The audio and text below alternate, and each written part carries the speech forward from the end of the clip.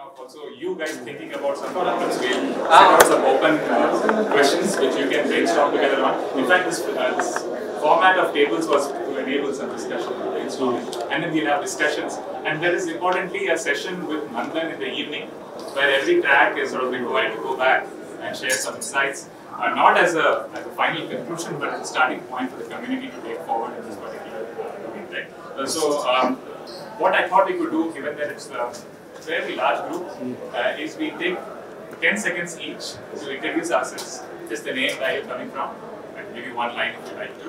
Um, and, and then just know who's in the, in the room and maybe setting up some computers and then we can start. Is that okay? Okay, we can start from this one. Sarita from NASSCOM, interested in digital skill in India. Thank you. Anand from EkStep.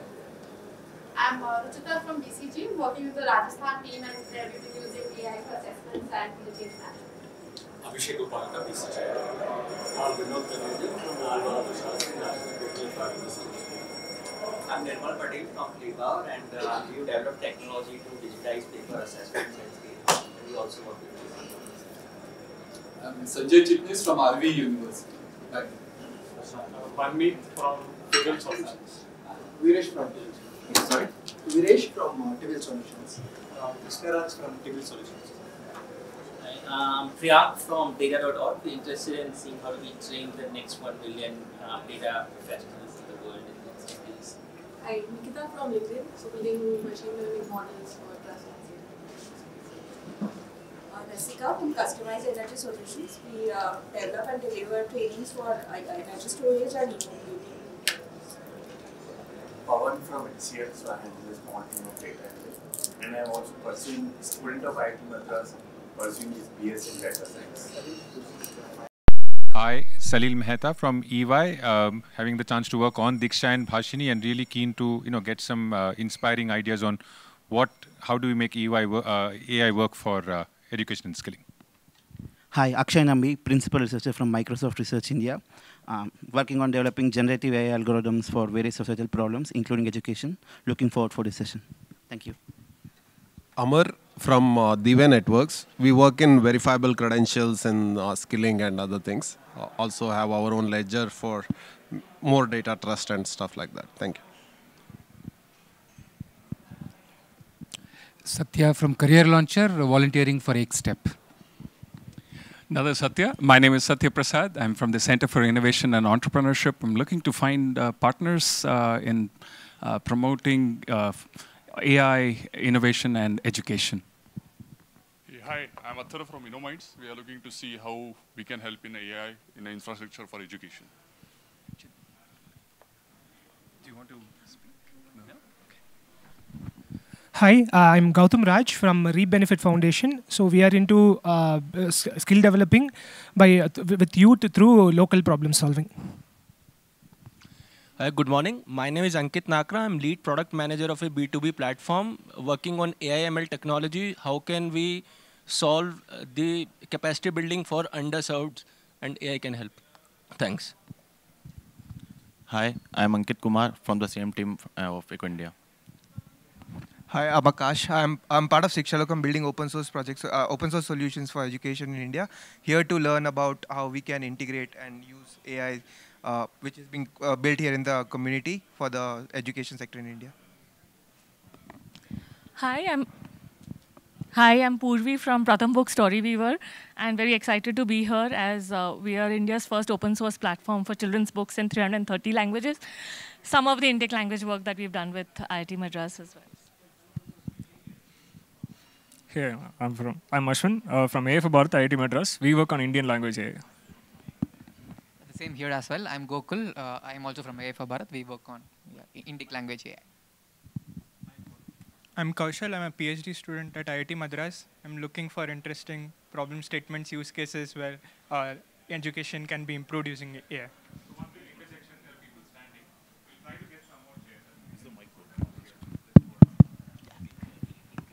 Okay. Hi, uh, I'm Ashish Agarwal from NP Bridge Solution, and we are building solutions using AI to assist teachers and students to use learning platforms more easily accessibly. Hi, I am Saurabh Vyas, uh, co-founder of Vinyall. We are looking to enable low-cost uh, edtech in India by empowering uh, local educators and tutors through software and content. Hello, I'm Manohar, uh, CTO at Sattva Consulting. We have several projects at the intersection of uh, technology and education. I'm, I'm keen on, on, looking at also the, um, let's say, the value of AI towards learning outcomes, which is what we also heard earlier. Hello everyone, I'm Sashik Kumar, professor in the Department of Computational Data Science, IISc Bangalore, also the founder of Zenteiq EdTech Private Limited. Our focus is uh, how to leverage AI into higher education. Thank you. Hi everyone, uh, I'm Prasanta, faculty in the Department of Electrical Engineering at IISc. I work in the area of speech and language. Among others, I lead the Vaani project from Google. Hi, I'm Anand, founder of Wonderslate Technologies. Uh, we are the biggest technology uh, partners for Indian pub academic publishing industry. We work with them in uh, digitizing, um, uh, creating a smart ebooks. How do you add value to the huge experience they have in terms of creating academic content? Thank you. Hi, uh, I'm Janvi from NP Bridge Solutions. Hi, I'm Mohan. I'm a founder of uh, Product Engineering Services company. Uh, we work for uh, Shiksha Lokam, so I'm here to take in ideas and then see how we can use them. Hi, I'm Prakhar Jain. I work with Central Square Foundation. Um, we support various organizations, work with governments on uh, reforming uh, the school education system, specifically early grade learning. And uh, as an org, we are a big believer in tech. Um, so we are looking forward to the discussion today. Uh, Harsh Shetty from Pratham, it's an education nonprofit. Yeah, Nishant from Pratham. Uh, I work on technology, and hopefully we'll have the ASER reports showing good signs later on.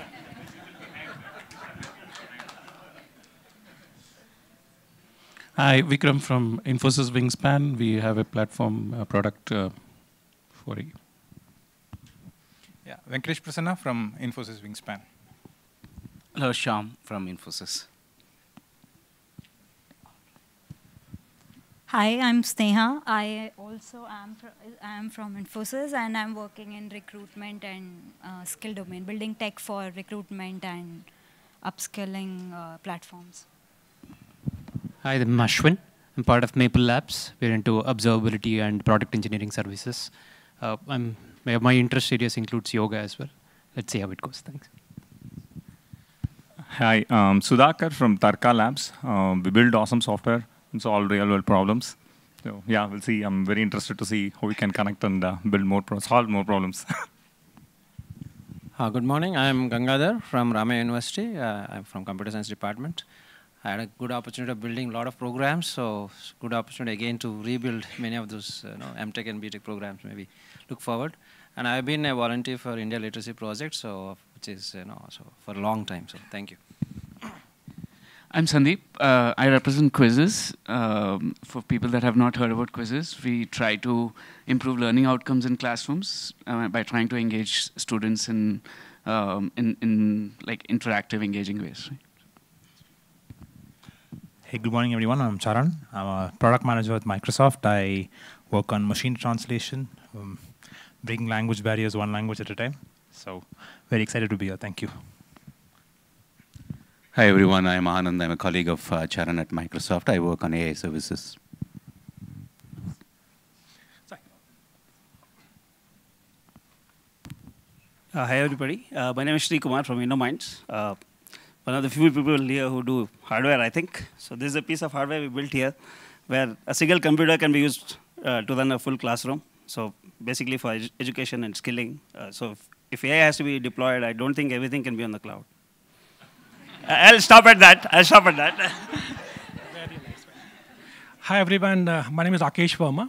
I'm playing two roles from Government of India. I'm heading Diksha and NDR at DIC. I'm also heading Karmayogi Bharat Capacity Building One. Thank you. Thank you. I think there are some people who left out at the back.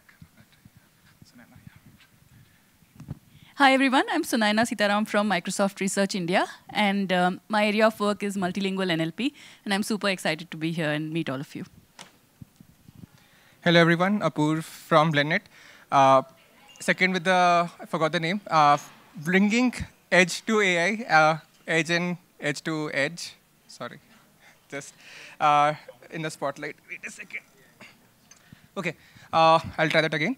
Uh, low-cost technology which helps bring computing and edge, uh, uh, computing and machine learning to the edge. Uh, we use satellite and a hardware. That's what I wanted to say. Not every, everything can be done on the cloud. So yes, I just moved out of Microsoft Research. Sunaina and Pratish were my colleagues there. Thank you. Excited to be here, as you all can see.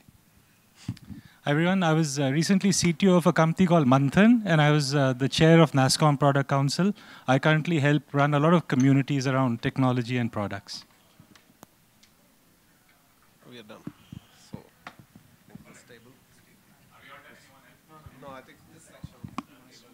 Sure. Uh, hello everyone, I'm uh, Irina. I work with Ashoka Innovators for the Public, which is the largest network of social entrepreneurs in the world. and uh, I run a program in, Aspire, uh, in Ashoka called Aspire that helps social entrepreneurs leverage technology for impact at scale, which we run in collaboration with societal thinking. Uh, so nice to meet so many technologists.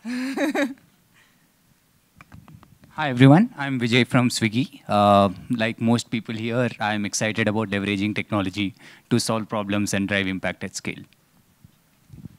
Hi everyone, I'm Harsh. Uh, I work at NextLeap. Uh, we work in the upskilling space for working professionals in tech. So yeah, we're trying to bridge the gap between upskilling and learning. So that's what I'm here. Hi everyone, I'm Astha Patel. I recently finished my master's in educational technology and AI, and I've joined Rocket Learning as a learning experience designer.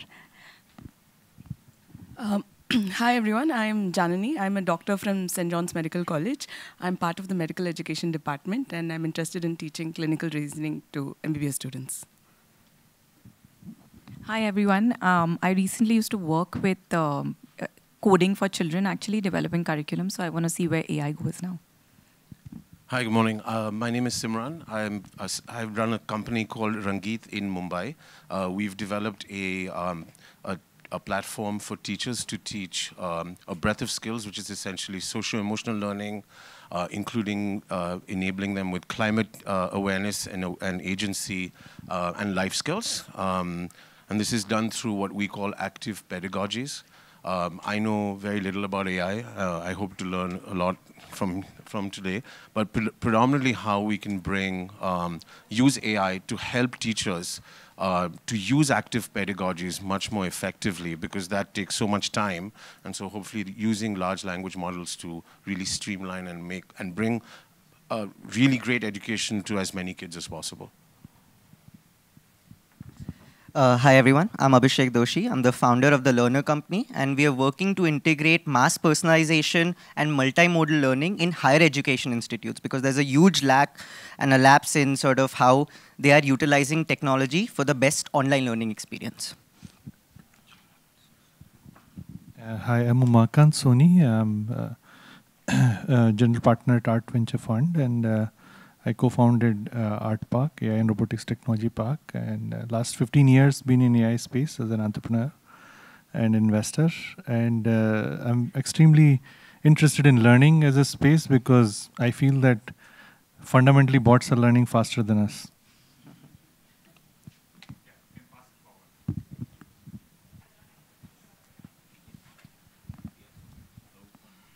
I've actually lost my voice.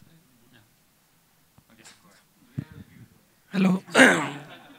so actually, I kind of like lost my voice. My name is Abhineet. Uh, I work for Wadhwani AI, uh, and I lead the education and skilling work uh, with them.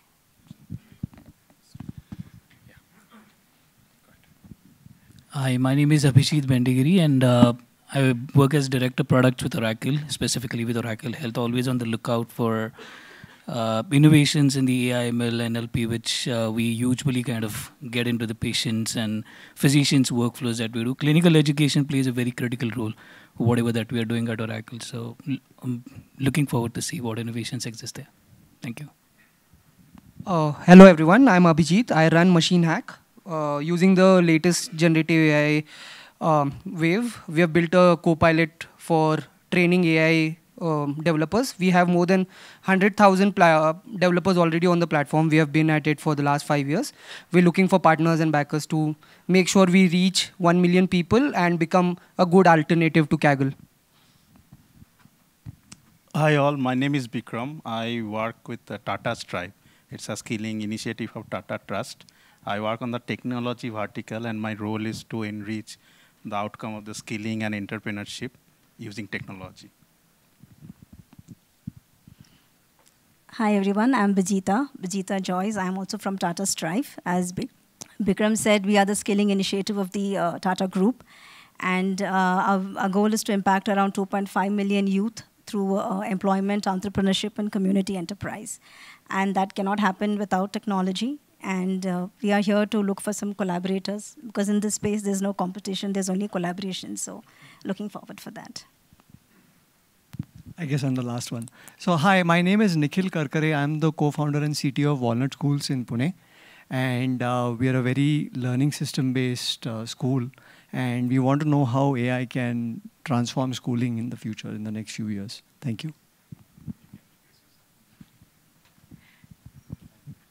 Hi everyone, my name is Niharika and I represent Khan Academy and uh, super excited to be in a room full of uh, educationists and people from various social uh, sector and uh, look forward to showing you a little bit about what Khan Academy is doing in the field of AI as well. Um, thank you everybody. Yeah, sorry. So I'm Lakshman. Uh, I work with an NGO. We work in uh, 24 states on vocational education and skilling. And the specific problem which I'm looking today is uh, measuring the employability skill uh, once a student passes from 12th class. Hi, my name is Mangal. Uh, I run a foundation on early childhood education called Key Education Foundation. Uh, here to understand how we can leverage AI to empower parents to be a partner in the learning of their child. Thank you.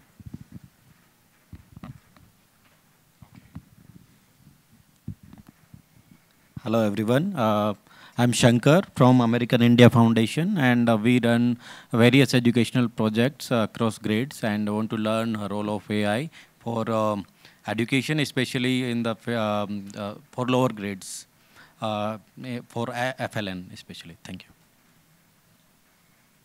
Yeah, thank you everybody. That took a bit of time, but I think it was worth it. What I realized was there is so much diversity, so much experience in this room. There are faculty members, there are startup folks, there are people running their own companies, there are people from big tech, people building products. Uh, that's just amazing. I think we should just recognize this is a great forum that has come together, right? And if we have to build stuff with AI for education, this kind of community is required to really make that happen. So feeling great about it, which also means uh, JB and I will speak less uh, and, uh, and give more time to all of you to, to present. Uh, starting off, we will hear from Khan Academy, right? Because uh, many of you, or at least some of you, would have seen that Khan Academy was an early partner with OpenAI and has been building, imagining what AI plus education looks like. We have a video and we'll have a quick presentation maybe uh, discussion right after that. You don't have a video? You'll just present. Okay. Yeah, please go ahead. Hi, everyone. So I got introduced to all of you uh, a couple of minutes earlier. So uh, just a little bit about Khan Academy for those who are uninitiated. Anyone who's not heard of Khan Academy here? All right. Okay, that's That's good to know. All right. Uh, a little bit that you may not know about Khan Academy. I'm sure you may have uh, used Khan Academy or your kids, those of you who have kids, are using Khan Academy for, uh, you know, for various purposes. You know, you may have uh, gone in, looked at a video, you may have gone in, done some practice exercises, and, and uh, found how you're going to you know, master a particular concept.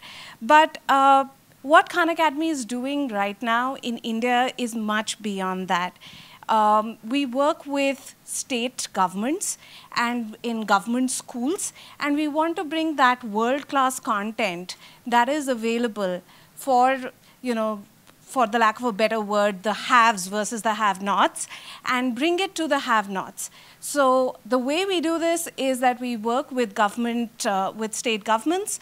We take our content, we contextualize it in the, uh, for, for a government school student. So not only is the concept explained in the vernacular, it is also adapted to the state curriculum.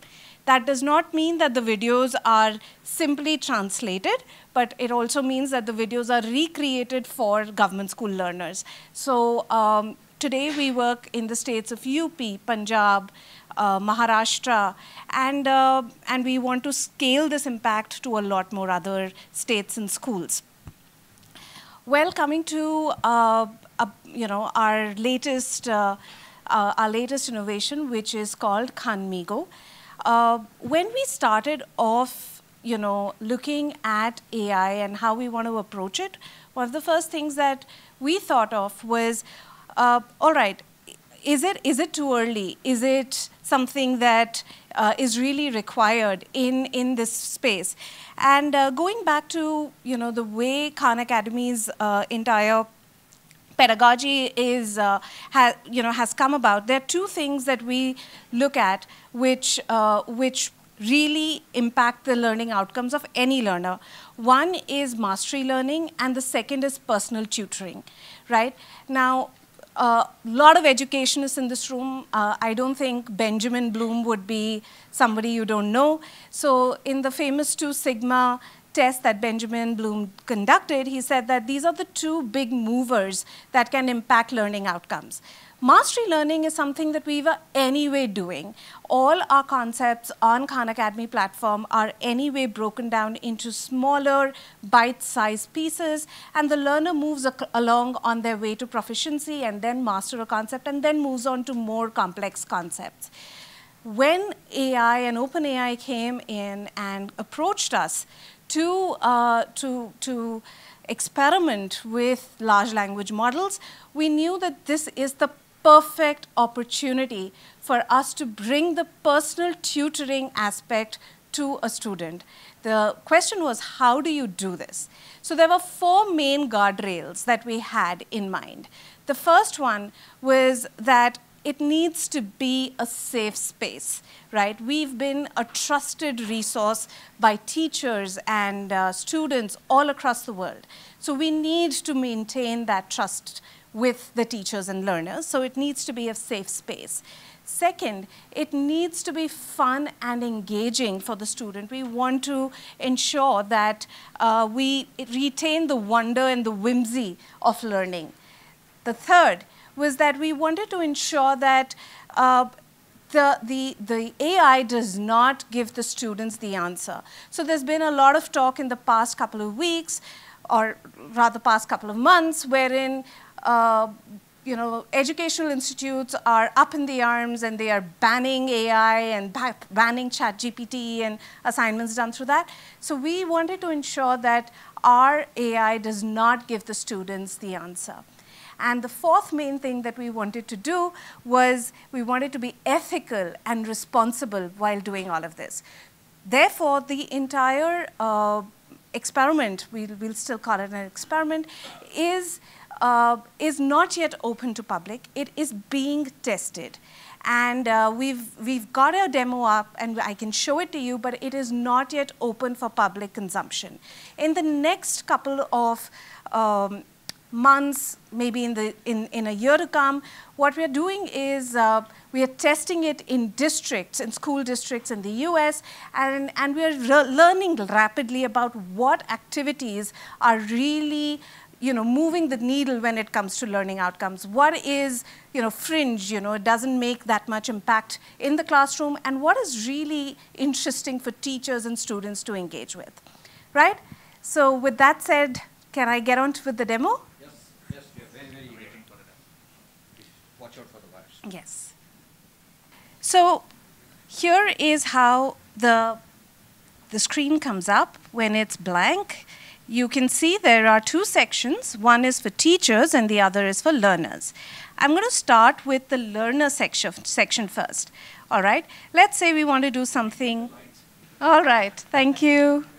Can you, can, can you see it? Do you want me to zoom it a little bit? Yeah, yeah, I'll just do that. All right, I think this is visible now, right? So let's say uh, a student logs in and my son's uh, in seventh grade learning circles, so that's what's top of my mind, circles. So let's say I say, tell me how, could, could you hold this for me so that I can hold hands? To calculate the area of a circle. All right, so you can see that I made a typo here as well.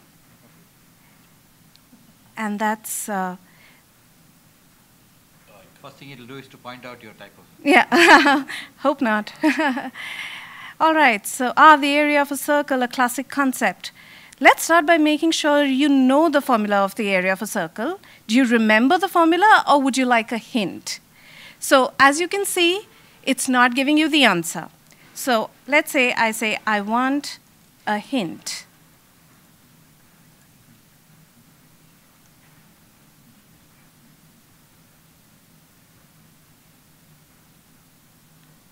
How many of you saw this uh, announcement in YouTube when it came out? Can you raise your hands?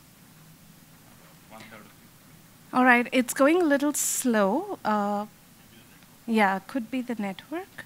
OpenAI servers have always Especially in India from now, most of the time, demos at this time fail. Wait, when I did it like two minutes ago, it was going much faster. Oh. All right, let me. That's a hint. Think. Murphy's Law, really.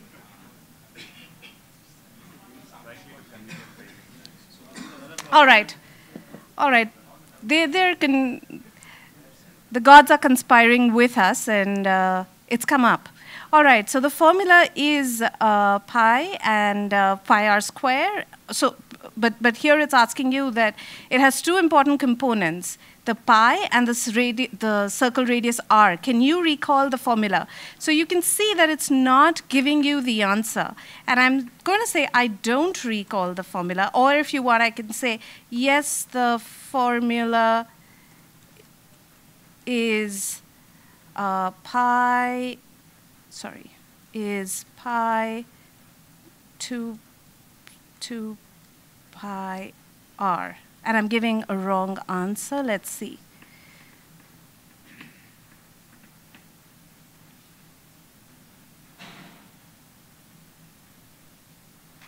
Actually, the formula is the circumference, not the area. The area of the circle is slightly different. Would you like a hint or, an, or the correct formula? So even to get the formula, it's not easy. So give me the correct formula, and it'll keep interacting with you this way. Yeah.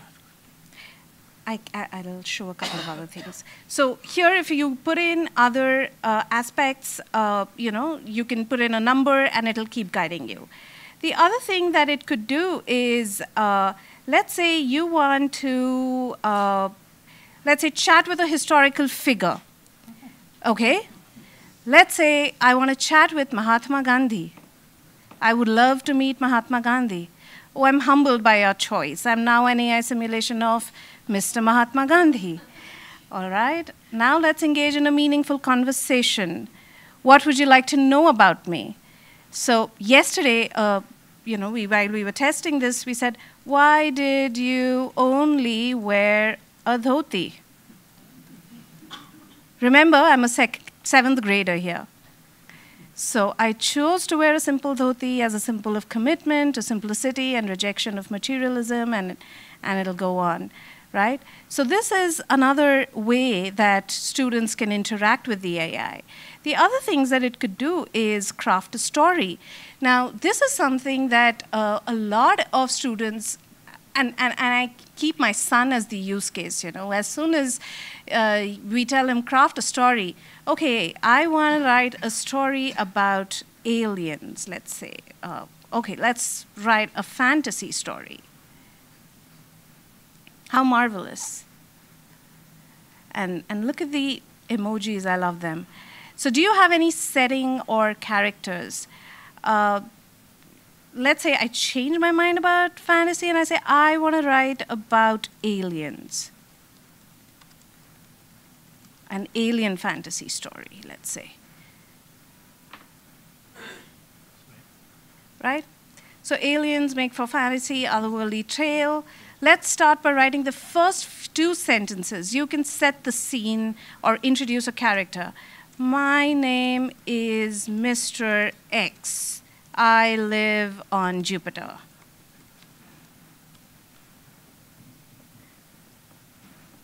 First two sentences, very, very simple ones, and let's see what it gives us.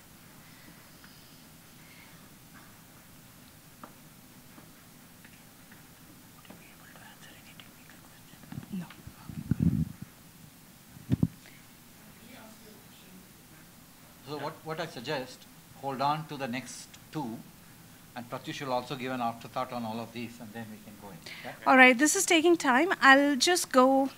Okay, yeah. All right, I'll try and see if some of the hooks for teachers come up. So let's say I'm going to try this one out create a humanities lesson plan. All right, so this is another one. So I want to teach about Akbar the Great.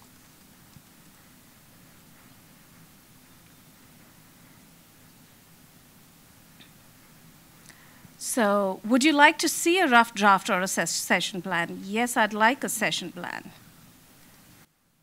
All right, I'm sorry it's not working right now, but maybe in the break, if the gods are uh, kind to us, it may. But yeah, so that's uh, the demo, and uh, Thank you. right? No, thanks a lot, Niharika. I think some of us have seen that, but for others, I'm sure you are mind blown by what is possible with these models. And what I also like is you're experimenting with schools, and eventually you'll learn and probably share those learnings in the spirit of Khan Academy, so other people could also use it. In fact, JB has been trying to build similar things, and uh, we'll take audience questions right after he shows what he, he plans to, because it's on a similar line. Uh, what is different in what JB will show uh, is that he will again use the same GPT kind of models to inv- to in a chat experience uh, ask questions like a student, like a teacher, but he'll try to show how this can be grounded in content from our NCERT textbooks, which are open source. These textbooks are available. So can we ask questions? Can we get links to these uh, textbooks, right? So JB, can you start off and then? Uh, so the same models that I was expecting this, right? The, the, the models are the same, right? No matter the interface. I can help you out with that. Uh, photosynthesis is a process by which green plants and so on. Uh, there, there are details. Um, no, we wanted to, we want, yeah, so maybe you say, okay, let's say it says here, here are some key points, right?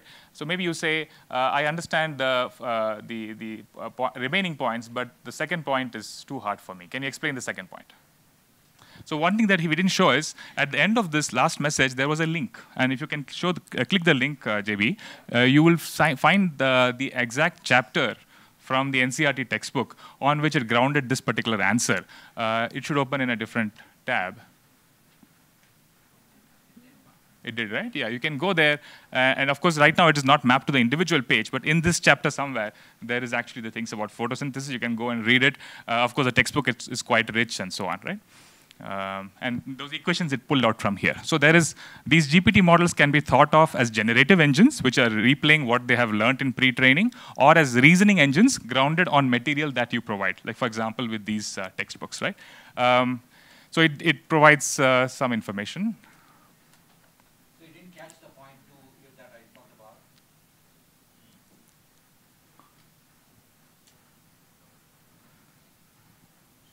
Yeah. A recap for all of us who were studied photosynthesis sometime, but I've forgotten that there's so much detail there. Uh, maybe you want to check how well it does in Indian languages, right? Maybe you say, I want to explain the above in uh, Kannadiga or Hindi. Right? Okay, Kannada. Kannada, right? I should say. Got it. Kannada. I know he's a very proud Kannadiga, so he, I should be careful. Yeah, so the way, way to think about this is now he's asking a question in English, and he's looking, the model has access to material in English, but it's now required to answer in Kannadiga, uh, in Canada, right? In Canada. So, and, and, the, and this GPT-4 models are able to do that, right? They're actually able to generate output. The generative uh, experience is actually good enough in about 10 Indian languages now, the top 10 uh, Indian uh, resource languages uh, currently. Uh, you should read it out for us. Yeah, yeah. No, first of all, it took me back to my seventh, eighth, ninth grades, right? So this is the language, uh, and uh, it's still using photosynthesis here, but uh, it says no ಬೆಳಕಿನ ಸಹಾಯದಿಂದ ಸಸ್ಯಗಳು ತಮ್ಮ ಆಹಾರವನ್ನು ತಯಾರಿಸುವ ಪ್ರಕ್ರಿಯೆ. First of all, it's very complete, very complete in the way it is. Uh, it is uh, not, photosynthesis is not called photosynthesis, it's called uh, something else. Uh, I've forgotten, but uh, let's see if it shows up here. Oh, very fluent, and it's very correct also, right? Ingala the dioxide. It says carbon dioxide. It should have been Ingala the dioxide there, but uh, you know, in today's Kannada English combinations, all of this works. Yeah. Now, can we switch JB and act like a teacher? Maybe you refresh the page so that it starts a new. Uh, So, so you are also explaining that you know these are all connected contexts. Yeah, yeah. The, the conversation, I think by now all of us know, right? Uh, we have played with ChatGPT. It maintains context, right? Now it knows that we are talking about these topics and it maintains the context. Now, maybe as a teacher, you could say, uh, I want to uh, set a quiz for students. Uh, maybe take, let's take a different topic uh, on, on bauxites, right? On, that's what we tried last evening uh, on bauxites. give me one question from the textbook and one from outside the textbook. Okay, yeah, you could do that. Yes.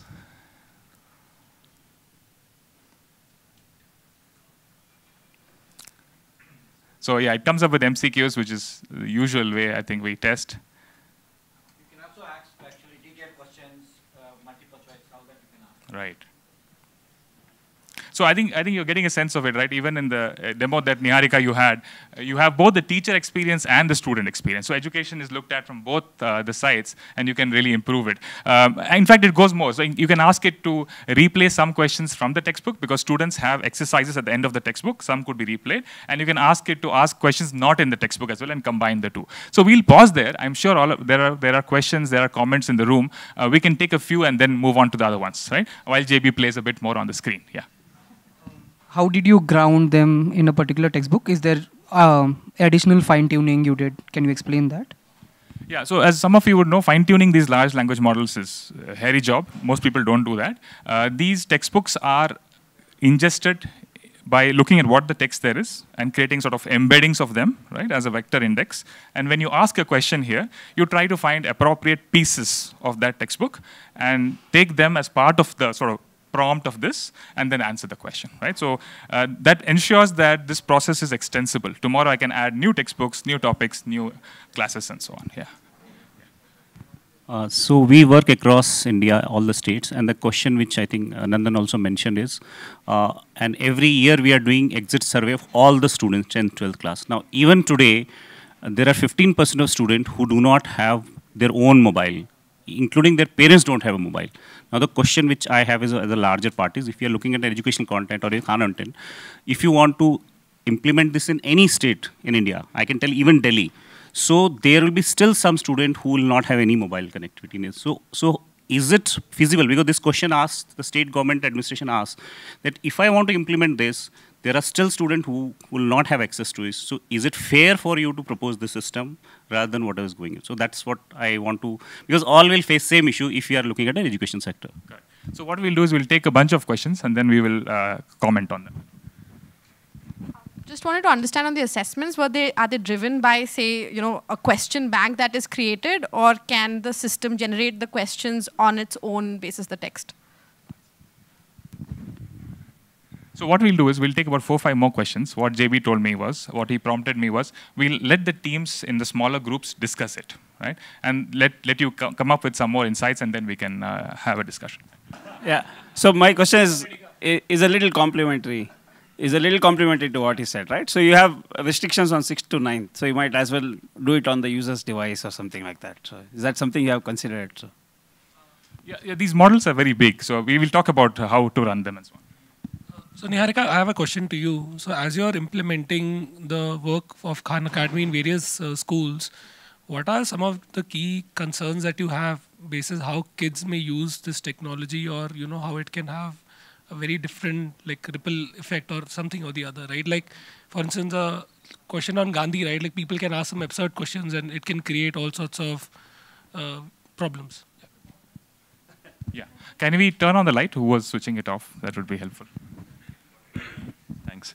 Uh, so I think, Pratyush, the question is if the source knowledge itself is in vernacular, how does that impact the LLM? Because I can understand the translation happening in, in to and fro, but if the source knowledge, and there is a lot of knowledge in vernacular, how will that be sort of factored in?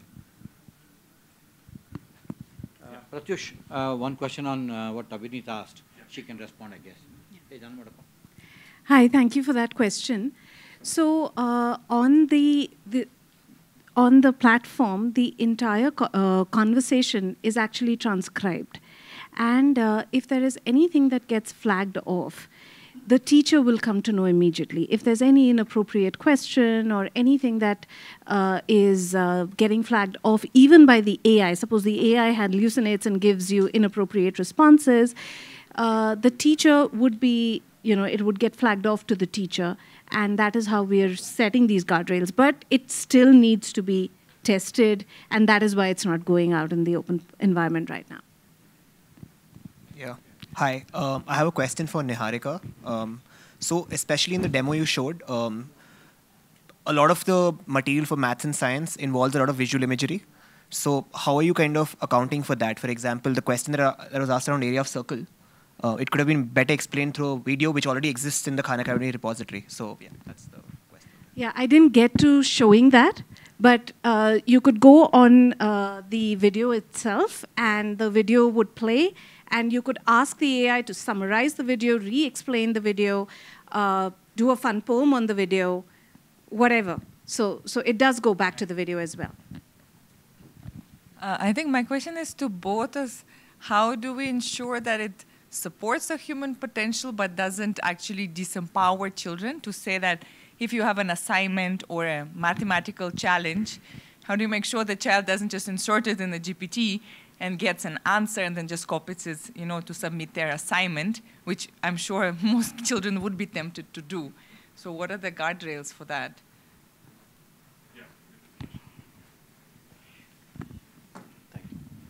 Uh, maybe both of you. Uh, have uh, before starting these experiments, have you actually envisaged the you know the, the, framework under which you want to use the AI? For example, what are the guidelines? I mean, I would like to know that not because you know as an inquiry, but really, if you have actually already come up with a framework, we would like to know it. It will be a great, uh, you know, uh, useful thing for us. Um, my question is, uh, how do you think about prompting. So in the case of the circle, how frequently do you think a prompt would help?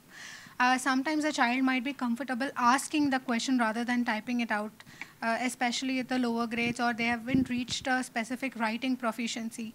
So how does that get incorporated?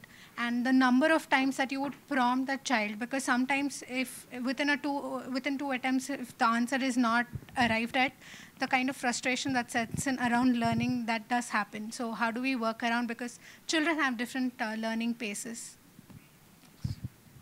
So one uh, request, Pratyush uh, and rest of you. You know, um, there is too many questions for sure. Okay? I also have questions and I keep bothering him and Vivek and others. So here is my suggestion. All of these are great discussion topics at your table.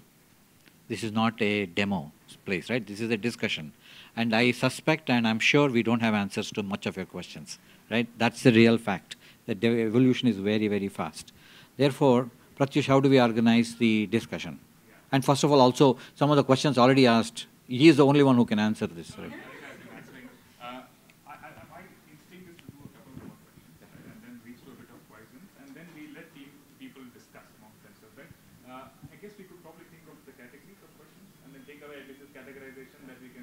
So I just want to kind of give you a zoom out view of what's going on today, right now.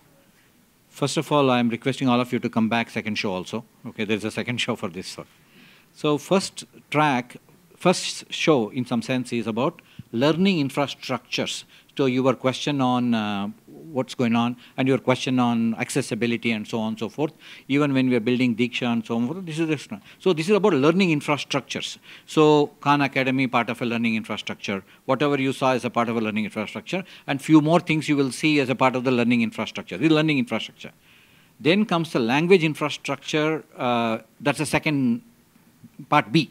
That's a language infrastructure. At a national scale, maybe international scale, many of those things are actually international in their stories. So this is what's going on right now. So whatever Niharika showed, what I showed is all part of the learning, and I will show a few more things, right? These are all part of the larger learning narratives, okay? Uh, so sorry to be a little critical here, but I kind of feel that whatever we have done is kind of, you know, uh, getting a book in a chat kind of a format, question in a chat kind of format. We believe that you know this can change. But again, thinking, I mean, how much fundamentally it can shift, right? Books were always there, even teachers were always there who were sitting in the class and explaining. And today we still feel that you know 90% of the kids are not able to learn the concepts, right? They are just remembering it, right? So how can we actually leverage this technology to ensure we teach kids learning how to learn rather than just you know remembering whatever facts are thrown to them, right? Um, I'm actually going to build on that question, but a very different twist, which is uh, what does all of this mean in terms of reimagining education? Because sometimes the tools that you have limit your imagination.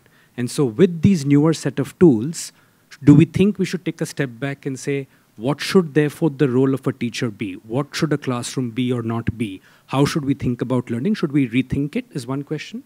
Second, what is the rate limiting factor? So, for example, is it change management with respect to teachers or administrators? Is it the assets? What's the rate limiting factor? I have uh, just one comment on the efficacy. So I've been doing a lot of learning science research, A-B testing, and evaluating uh, what works. And I think with all of these new approaches coming in, we don't really know what works. And I think we should be thinking about how to measure that systematically. I'm sure there have been some Tulna framework and other frameworks, but yeah. Uh, yeah, first of all, uh, uh, good to see the very good initiatives in the education sector. And uh, according to me, most, uh, because I taught a lot of students uh, over the last 10 years, the main critical point is the personalized education is the greater cause. And when I say personalized, because all of us are trying to you know provide the content and tech enablement, but at the end of the day, uh, uh, we have to cater the, we have to deliver the content according to the IQ and whatever the knowledge that particular student is having at that particular right moment. But somewhere, uh, when I looked into the demo of um, uh, Khan Academy, they are trying to so solve in that space uh, by not giving the direct answers and going to understand and giving the hint. But I would, I'm really curious to understand on the other tool demo what we saw.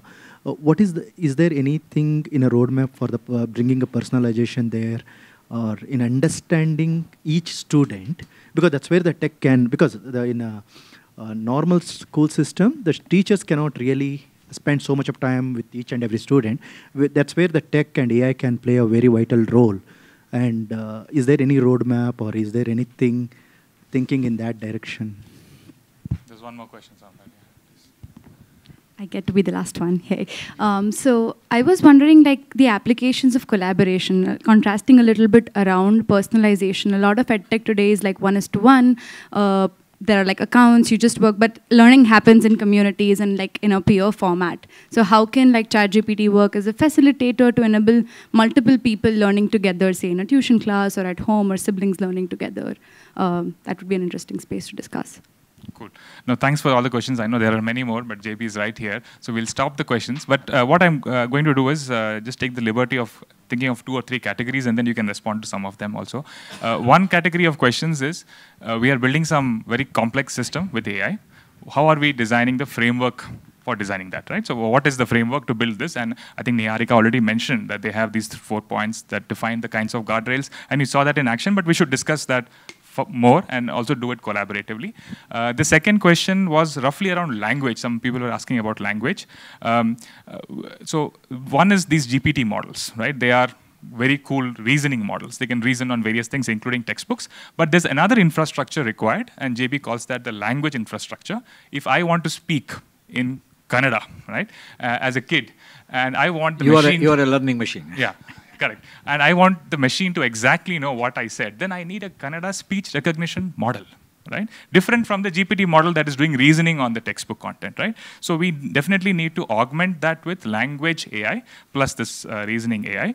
Um, and then there was this third set of questions around, uh, I like this framing around how do you redefine education? In fact, Nandan on the stage also said, what will schools look like? What will, what will teachers do and so on, right?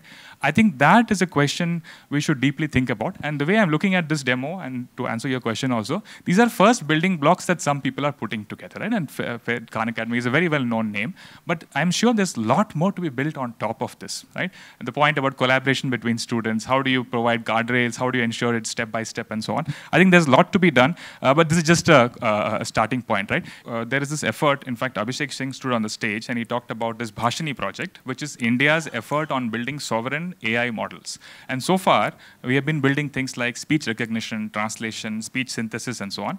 This whole LLM wave is very new, right? Frankly, we as a country um, building open source software have not yet built enough, let's say, tech expertise to mount a challenge and build a similar open model, right? But at some point, folks will do it, right? But uh, just for you to know, this is a rather large step change in terms of technology, and it'll take a while for us to have equivalent models that are as good, right? But there is a lot of intent. In fact, Nandan also mentioned we want to have that sovereignty and so on.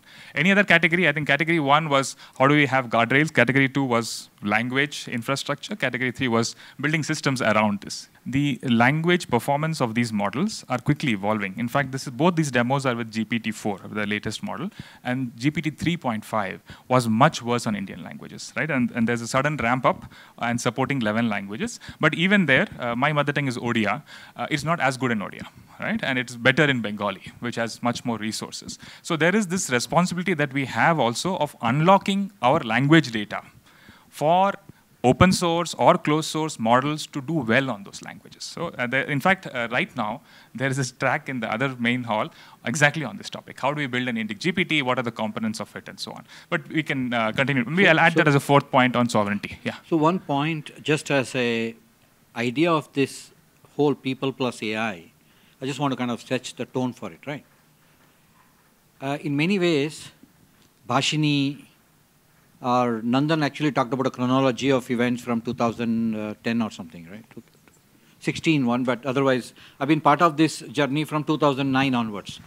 It's actually this tone of this community is we set the problem statement and we solve it. We give ourselves the power to organize ourselves, to come around and uh, figure out a way to solve it.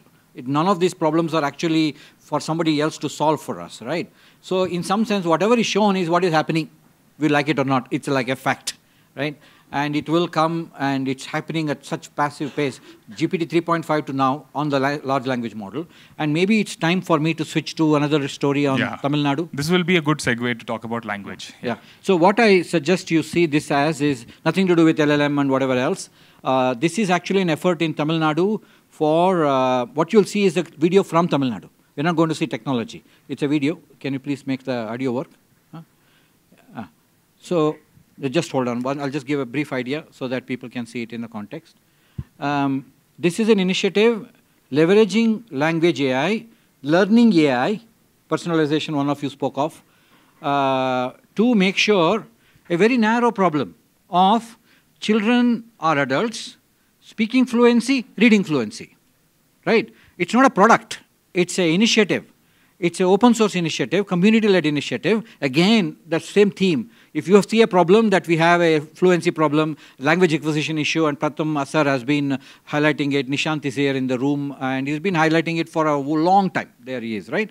So almost 20, 25 years that I know of, it's been highlighting. So now, can we actually solve it conclusively in a way Google Maps solve for navigation most of the time, right? So that's the video about. Pratyush, yeah, try. Let's see if the audio comes.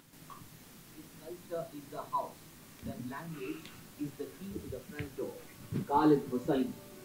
Language is what makes us human. It deepens our connections within our community and allows us to participate in our culture. Our culture is rooted in our language and Tamil is central to our identity. On the other hand, the world is a stage for many languages and Tamil Nadu government would like to build a bridge for our students to access global jobs and opportunities. Since English is a stepping stone to becoming an active global citizen, the school education department has chosen to start this journey with language labs. Moligal.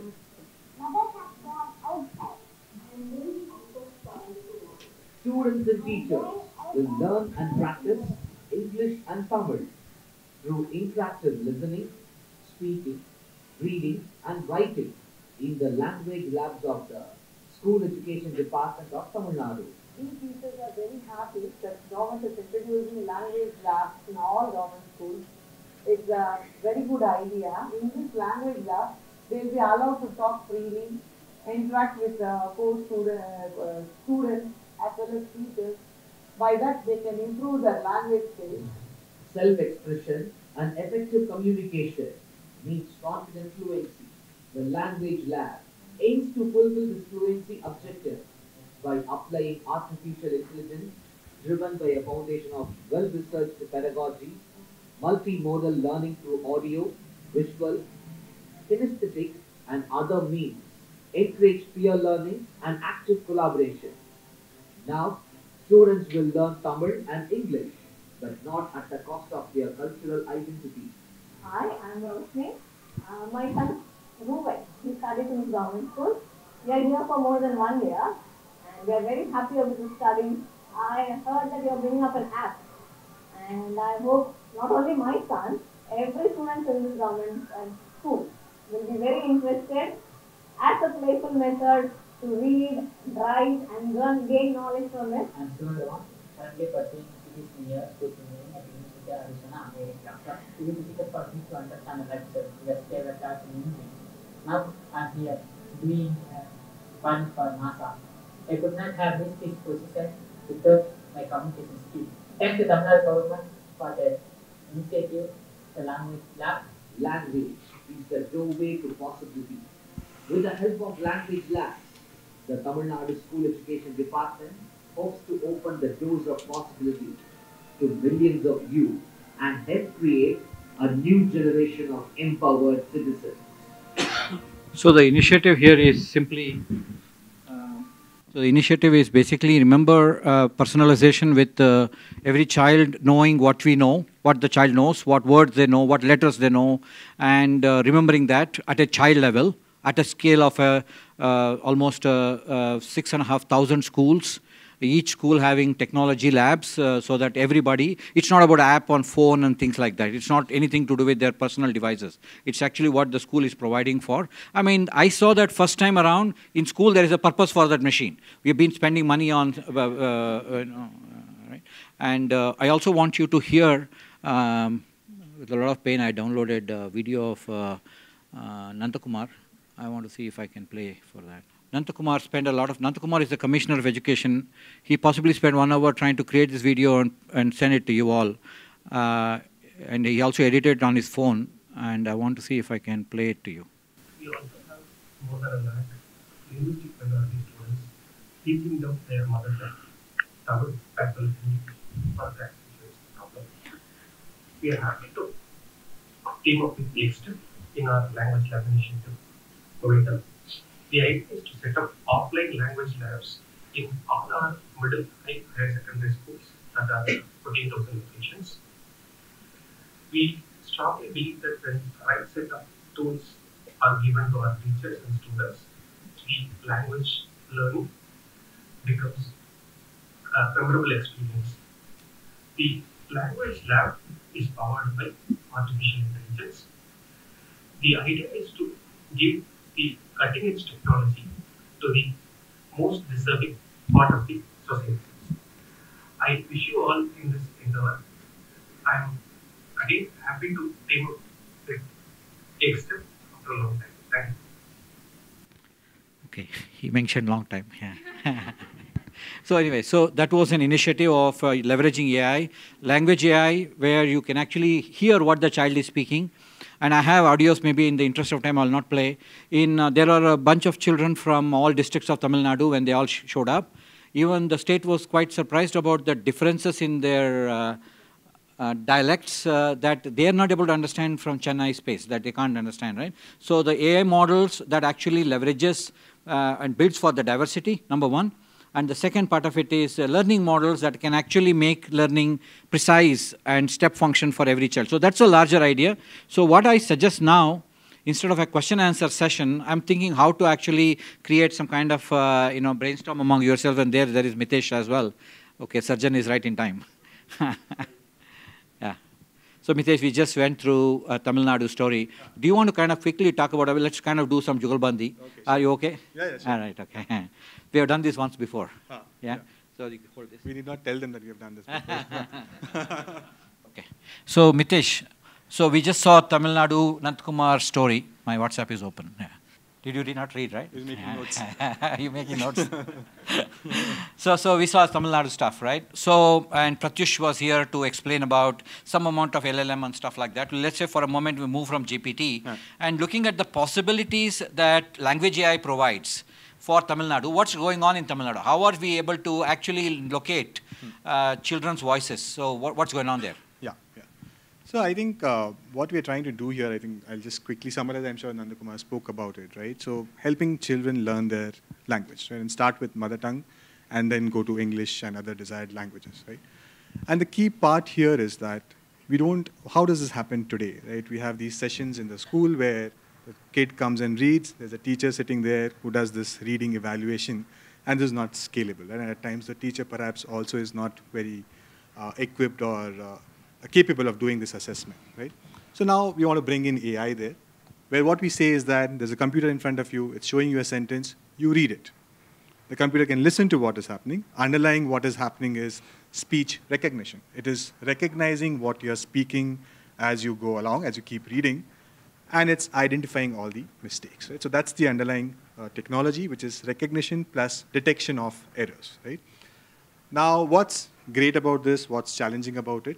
So the challenging part is this, right? This is true for every technology, right? When a new technology emerges, it's always designed for a certain sector of people, right? A certain segment of people, right? And there are always marginalized sections which get left behind. And all this does not look good to say it, but in this context, right, people in rural areas, especially children uh, below the age of 18, right, because most voice systems are built by collecting data from people above the age of 18, because then you don't need to get into any sort of legal problems, right? So then what happens is these systems, they don't really work well for children in that age group, right? So you have to now make it work for those age group. Of course, it will not happen So one, one other question. So, general, watch out. Yeah? There is uh, language recognition models. Can you talk about what's the difference between language recognition and language learning? What's the nuance there? Yeah, there's a good. There's a subtle point there, right? So now today, if I if I want to interact with the speech recognition system, I may speak fast, I may mispronounce, right? I might say pashat, and actually I wanted to say pachtava or pashatap or something like that, right? And I was just speaking fast and I made a mistake. My expectation is that the model should recognize and correct and go ahead, right? And do whatever I was supposed So to. you should have said Prashant and moved on Yeah. because that's what you're expecting. Right. right? But in this case, we don't want to do that. The kid has made an error. We don't want a model to go ahead and use its own knowledge. Hey, I don't think this has to be Prashant. It has to be Prashant. So I think he meant Prashant. Let me just identify Prashant and say, good, you did a good job, right? That's not what is expected here. So there is a detection of error required here, right? The speech recognition as it works when we interact with Siri or with our phones is not what is required, right? Where we want the errors to be automatically corrected. Here we want the errors to be detected, right? So certain features need to be built into it so that it does not use its extra smartness and trying to correct what is happening there. Instead, identify those errors and identify those errors for a certain age group, right? So that's the nuance that is there. Precisely. So, just to kind of build on that, so what you are doing is building a societal scale data collection model as compared to enterprise scale data collection models. If you see Microsoft or anybody else, they have been collecting data to train their models. Here is actually Tamil Nadu collecting data Right. for the sake of building a Tamil open model for the sake of children learning. Right. Right? And with for Tamil and English. Right? That's what you are actually enabling at a Right. scale. This, right? People plus, Yeah, right? yeah. So we need to have people in the center, right? So we, if you're building something for that age group, and not just age group, that's for that ecosystem, right? Even the teachers are involved in that. It's in their interest to make sure that their kids are learning well. And they have to be a part of the data collection. You can't give a phone to a kid and say, hey, record data for Yeah. me, right? The teacher has to enable this, right? So the people or the ecosystem for which this application is being built has to participate and has to participate to the right channels, right? The government is involved, so there's no private data being collected and so on. All of those things need to be conveyed properly and designed properly, right? We need to make sure that we're just asking kids to read a simple story sentence and not asking them to say, hey, who are on your family, what does your dad do, and so on. Not all that is not required, right? So we make sure that the data is collected with the right principles through the right channels so that we are aware of all the privacy and other exploitation issues while building technology for that. So the larger story we'll open up for discussion now. And Pratyush is back. Thank you, Pratyush. Come now. right? All right, cool. So the larger idea is, see, this is a learning infra foundation layer for children to learn language as a fluency story. But the same thing can actually work at a scale of a Diksha, for example, where national learning infrastructure that's AI powered. Could it be possible? I don't know the answer, frankly, right? I think it should be possible. We should be able to come together as a community and add the building blocks. And it's certainly the larger point Nandan was talking about, and which I added on stage, that we are in a low resource environment and a low, um, low um, low tech environments, right? Because if you see some of the machines here, etc., are very low tech. Frankly, we can't afford as a country to have high end desktops in every lab and make it work. But I'm phenomenally impressed with whatever I saw in Tamil Nadu in every lab and the infrastructure they have built. So, to that extent, I say it's possible to actually have these kind of infrastructures. And of course, 50% of them don't have mobile phone access. And that's a given. We've got to design for low resource and low tech but bring the best of the cutting edge. That's the possibility that's being imagined. So I would think that in five years, India would have the best of the learning infra for every child there is, or for every learner there is, whether it comes to skills, whether it comes to education as a whole, but compounded by all other LLM uh, hmm. innovations that are happening in the country, right? Right, right, yeah. Yeah. yeah. So, like, see what we should be aiming for, right, and making this Tamil Nadu uh, example, as a model example of that. Right? So what we are learning for, what we are looking for is not for this to succeed in one state. What we are looking for is to come up with a framework. Right? Think of it as a box. With that box, I can then take off, take it to uh, Telangana. I can take it to Andhra Pradesh. I can take it to Maharashtra, and the same process can be repeated there, right? And this has several components, right? So one is on the pedagogy, right? So if I want to make sure that students are reading fluently, what kind of design is required in showing them these sentences. There's no point in showing sentences like Mera naam Raju hai. And maybe he'll read it properly, right? But those hard words have to come. But you just cannot show all the hard words. You have to show them interspersed with easy words, right? So that the kid has a good time, right? Does not have like a very difficult time in reading that. So that pedagogy has to be figured out, right? Second is like if it has to be enabled for that age group, that ecosystem, how to collect data, what are the principles to put in place, what is the policy to be designed, right? This has to be a part of that box?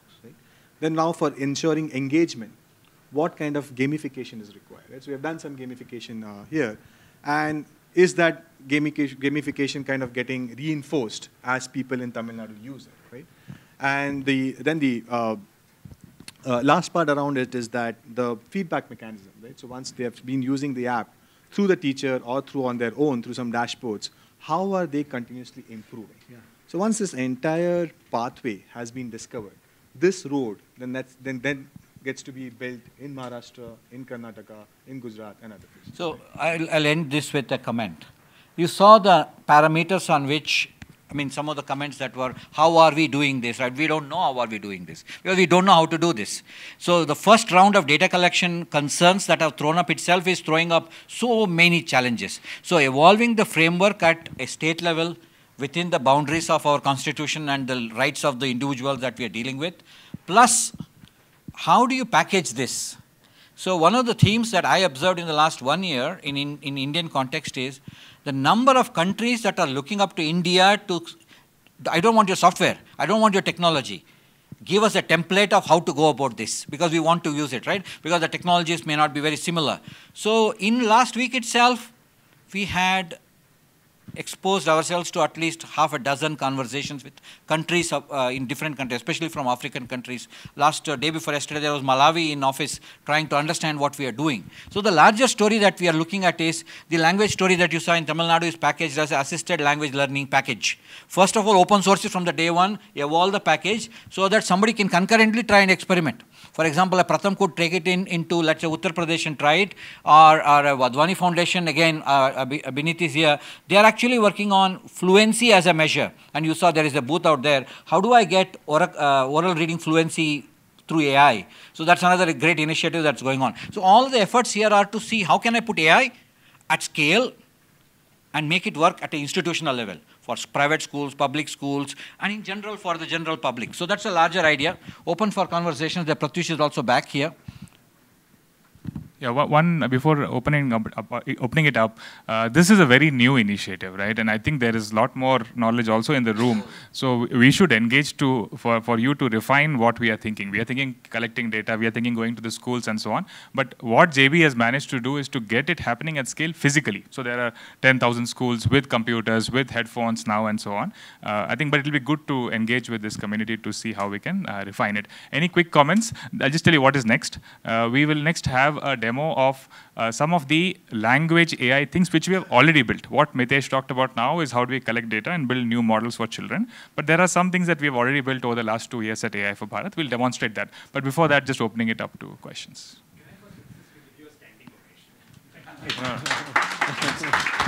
all of us, yeah. To all of us, because these are all not one, one person initiatives. Yeah. Other comments, questions? Yeah. Can you speak up?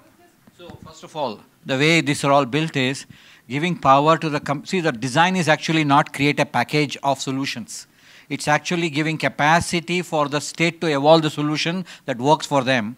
So I was very surprised when Tamil Nadu sent 10 audios, approved audios for this conference to say this is the difference in the languages that we want to account for in this strategy right? It's a capacity for them to solve. So whether it's a methodology A versus B, it's a Tamil Nadu conversation.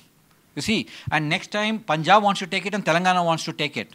It's a Telangana Punjab conversation. But can Tamil Nadu teach Telangana? Yeah, sure. So that's the way this story is evolving, giving agency for people to solve it. There are enough English teachers. We are all good with English because great teachers taught us how to do this, right? So that's the larger idea. Yeah. So one thing I'd like to uh, call out the first demo that we saw, right? This, in, in the demo that you did, uh, she said the area of a circle is 2 pi r. Did we have data on how many students thought that the area of a circle is 2 pi r? But with these kinds of tools, which are constantly figuring out what the, what the interaction looks like, we get much richer data. Even here in this voice collection, depending on the data that is being collected at scale, you'll actually know which phonemes are being spoken wrongly or which English words are being spoken wrongly. And the second point is if that data feedback is at sufficient scale and if there are no privacy concerns, we could use that to improve the models to find further errors. Right? That is always possible. That's what machine learning has shown. But it is, it is always very hard to get the data funnel going. Right, given how tricky it was. With these models, with these richer experiences, that seems to be possible. Yeah. I'm, I'm coming uh, slightly from a teacher and a classroom and a student perspective, right? I think um, what I'm hearing is a lot of that student accessing information will become easier at, at one level, right? And somewhere, I think when we talk about ChatGPT also, I think area of a square is probably a very wrong way to explain the potential of ChatGPT, right? And then something that you shared in terms of talk to Mahatma Gandhi, and it kind of opened up so many innovative ways that we can use it. The point that I'm making is, I think, um, unless we look also, how is this being used in a classroom, or what is, is there a is there a group of people who's thinking about what happens to a teacher when this is implemented, right? I mean, it's like basically tools are there, but if we don't work in terms of a teacher and a classroom experience, I think we'll go back to, to I mean, uh, you know, the uh, the the whiteboards of, of classroom, right? Every classroom had a technology of a screen, but uh, teachers didn't know how to use it. So I'm just thinking in terms of what's the capacity building required for a teacher? What's the uh, the the the the messaging to be given to school right? It, i mean we're not talking about replacing teachers. So you know i think we somewhere in this conversation today we will also have to think about all of that. Yeah good point. We should continue thinking about that. Yeah there are two other questions. We'll just take these two and then we'll move on. Uh, one question about the scalability of this solution, right? Uh, it was very heartening to note that it is an offline solution, by the way, right? And I actually read the press note on this yesterday. So like 23 crores for this 6,000 plus. So what's the kind of uh, cost reductions that people are looking like looking at for? Of course, Tamil Nadu is a reasonably well-off state, right? So to deploy it in other states and all that, what is the kind of cost reductions people are looking at for physical infrastructure? You know, that's something that I would want some input. on. See, right now, uh, I'll just answer that while, yeah. So right now we are not looking at that yet, right? I think most governments across different states, right, they have several education programs, right? And what we are trying to do fits under those programs. There is budget for doing things like this, right? Improving reading literacy is like the top goal for multiple governments, right? And right now, we would just want to kind of go to states which are willing to take it. Just like Tamil Nadu, there are many other states. That would be the phase one, right? And from those learnings, we'll try to figure out how to optimize it and make it work in states where the resource crunch is a bit higher, right? Maybe they don't have computers in every school, or they don't have 10,000 schools where have computers, right? So that is a phase two, right? In the phase one, we would just like to work and evolve this strategy about what is the minimum infrastructure with which we can do it, right? That will go on in parallel, right? But where infrastructure is already available, let's roll it out there and have the other learnings going. Yeah. So uh, quite right about the speaker of a language and learner of a language and how the pronunciation and that data is different. But what uh, for a learner of a language, what is wrong uh, has its own definition. So as we sort of go about collecting the data and then getting to a phonetic model of some sort, the labeling that has to be done on what is wrong and what is not has to be thought through from the perspective of not just one variation if you're saying there are like 10 variations of languages in Tamil, uh, in Tamil itself. So what is wrong and what is not has got its own definitions. Mm. And that uh, some of the people will reflect on it from the experience that was there in Uttar Pradesh of trying to use, I don't see Google here, but the read along app uh, as part of the Prerna Lakshya app. Uh, and the challenges that came up there were primarily linked to what is wrong. Mm. So the labeling itself would have to be thought through uh, to make sure that it yeah. represents that. Yeah.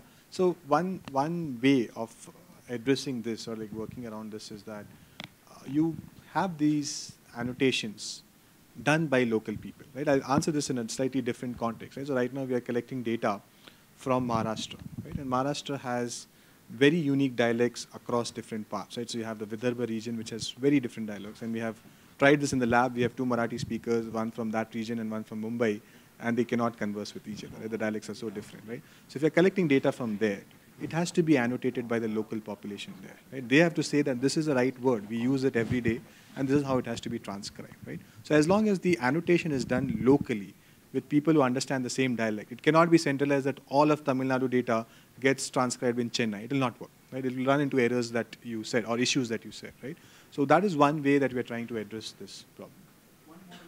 So the, there are several strategies, right? One is that you could just pull in all the data and train one single model, which has seen all of it and hence can work on all of it. The other is you build this base model and then kind of fine tune with those individual segments of the data and have specialized models for different Uh, so coming to the conversation here, I mean, we are only talking of, again, couple of months or couple of year, I mean, one year, but uh, like, like it was mentioned in the previous conversation, Aadhaar became successful because the policy framework was first, and then the tech came, and then the solutions came.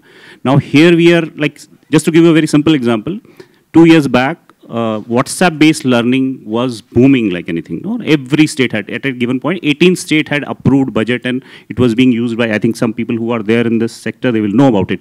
Today, most of the statement are, uh, governments are refusing to do it because they say there's no validation, there is no proof and uh, whether it is right or wrong even if you can bring in evidence in terms of learning improvement, individual learning improvement, but the question is uh, behavioral thing if a child is always on a phone, then that is detrimental to other things in the classroom learning. So from a perspective of sector, education sector, I mean, just to give you, step back a little, we have a Kota uh, as a teaching there. We have a lot of coaching classes. They are there for 50 years. They produce best of the engineers and, and MBAs and all, but no board has approved it, no, as of thing. So policy framework, are we thinking of policy framework? If you have to take it as a scale, if, you, if it is being approved by uh, Tamil Nadu government, the same case, if you go to Punjab government, they will have a different perspective. And we have seen happening here. Delhi has approved it. Odisha is saying, no, we don't believe in that. That's the right thing to do. So we have to address that part first, no? because tech will keep coming. I mean, we'll figure out a quick solution to it. But as a framework, we have to say, let's say Aadhaar framework is going to be this, and then bring in the technology. Makes sense. So I have a question for you, right? The question is, should we do some more discussion now? I think we are at uh, 110 or so. Uh, we have about 20 minutes or 15 minutes to go before lunch, right? Um, we can take some questions now.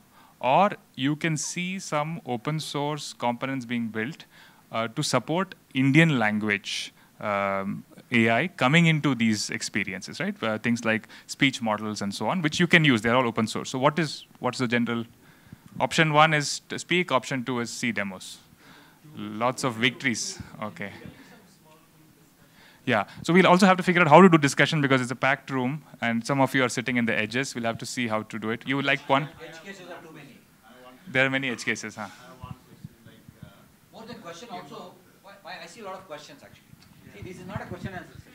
ये तो professor लोग school में करते होता है हमको थोड़ा Okay, I'm changing it. I'm हाँ, sharing my yeah. Maybe you guys can come here and do it. The back or not. Yeah, recap of the question is uh, WhatsApp doomed, right? Or uh, education on WhatsApp doomed. and I would like to know why, actually. That's a curious question. But education on WhatsApp doomed, uh, and, uh, and you, you are wondering. Yeah, yeah, yeah. if it's okay because you know there's a lot of collective time and investment of time that's gone into this room today can we put up a whiteboard or something for just keeping a track of everything that can go wrong. Right? Because whenever whenever change is happening there's a million things that can go wrong. And so we can spend the rest of today tomorrow next month next year talking about what all can go wrong. My request is let's talk about what all we can think of, aspire of, and as an ideation session, and keep a list of all of the things we need to track. For example, on this point about are we, for lack of a word, you know, bastardizing the entire process of education? Let me talk about a very real example. Rajasthan has launched um, a ton of English medium schools in its government system. Breaking news: there aren't enough English teachers. So you have schools which are claiming to teach English, but there aren't enough English teachers.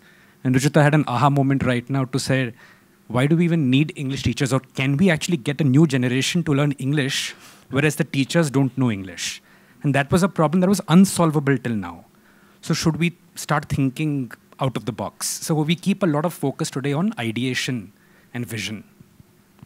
No, fully agree. So what we could do, we could do a small little bit of demo, let you guys get energy after lunch, right? And then we will ideate on this board, right? People can come, write, right? And we, I think some structure is useful, but we'll, but we'll probably use the rest of the second half to do ideation and discussion, right? Is that okay? And we, we could do a few demos in between, but I think spend most time for ideation, right? Okay. Conversation starters, conversation starters, right? No, no, so the other important point is we don't have to solve it today. It's not even solvable. Learning AI, no solution. No, no, but question paper I'm not taking away. Question paper still with you. Right? See, the larger learning AI, infra, learning AI, for example, and the language AI are the two larger topics. We got to go with our thoughts.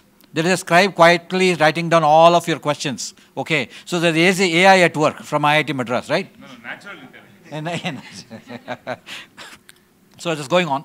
So we'll go back to we'll go with your suggestion of a lot of. I only saw twos. I never saw not even one one. By the way, is there anybody who said one option one? All right. Wow, that's cool. So we'll go with. Um, So now uh, Gokul and Ashwin will demo. You can, op- you can open your laptops. Um, what they will show us are two things. Uh, one is all the models that you have available to you. If you want to deploy some of these cool AI technologies, one is you need this GPT-like models, but then you also need models that understand Indian languages, right? Uh, able to recognize Indian language speech, able to translate Indian language to English and vice versa, and also be able to do things like synthesize speech in Indian languages. So we have been working as part of this uh, Bhashini project to build these models and also then use these models in tools. So first they will show a tool which is for transcription, which uh, is also open source, which you can use right away. So go ahead. Uh, Uh, so I think we are uh, 10 minutes short for lunch, so we actually wanted to uh, demo a lot of things. So we'll try to uh, keep, keep it as short as possible, and yeah, we'll demo what we have. So to start with, like Pratyush mentioned, so this is a platform for uh, transcribing videos which are in any language. It could be English or Indian languages, and be able to convert it to any language. It could be both in text as, as well as it could be in audio as well. So uh, this is a speech-to-speech uh, platform which I am uh, going to demo now. So the na- uh, the name of the name of the open source tool is Chitralekha. So yeah, I'll maybe start demoing this. So what I'm going to do now is, so I'm just opening some random YouTube channel, and uh, so this is since this is an education themed uh, uh, discussion so i'll just take some educational video uh, which is there on youtube By the way, we partnered with TikTok. Somebody was here from CSL. Yeah, yeah, we partnered. yeah good to know that so uh, uh, so uh, TicTacLearn, uh, uh, uh, I mean, TicTacLearn uh, is, is a channel for educational con- content for children. So what we'll do now is we'll demonstrate how we can actually translate this uh, content which is available in English to an Indian language uh, so that uh, it, it, it is localized and uh, spread out to the masses. So what I'll do here is that, so uh, the uh, purpose of this demo is to show how easy and simple it can be to achieve these things using such tools that we built which are AI powered. So what I'll do, do now is I'll just copy this YouTube video link and I'll open this tool called Chitralekha and I'm just importing it here. I'm by pasting it. So I hope uh, this is uh, zoomed enough. This is not running on GPT-4, so it's Yes. It's running on mobile data, so Yeah, it could be a bit slow. Yeah. So I'll just uh, quickly play a video to show you that we have loaded the vi- um video from YouTube. I think there is some audio issue here. Uh, not sure. Okay, yeah, so it, sorry, it was on mute. Hello children, in this video, Oh. learn about two Okay. No, it's not transcribing. I'm sorry? Yeah, it- uh, it's not a translator. I, I'm going to show, uh, show that yet. Yeah, this is the original video after importing immediately. Yeah.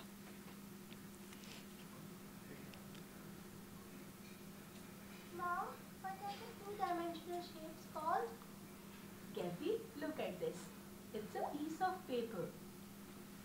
So uh, I'll not play this uh, full video since we are running out of time. So what I'll do now is, so uh, first of all, this is a video that does not have uh, subtitles, right? So what we'll first of all do is that uh, uh, using the open source speech to text uh, models that we build, we'll transcribe it, transcribe it to English. So I'll choose transcription, and I'll choose the model source as the AI4Bharat model that we built, and I'll choose the language as English, which is the default one, and I'll transcribe it.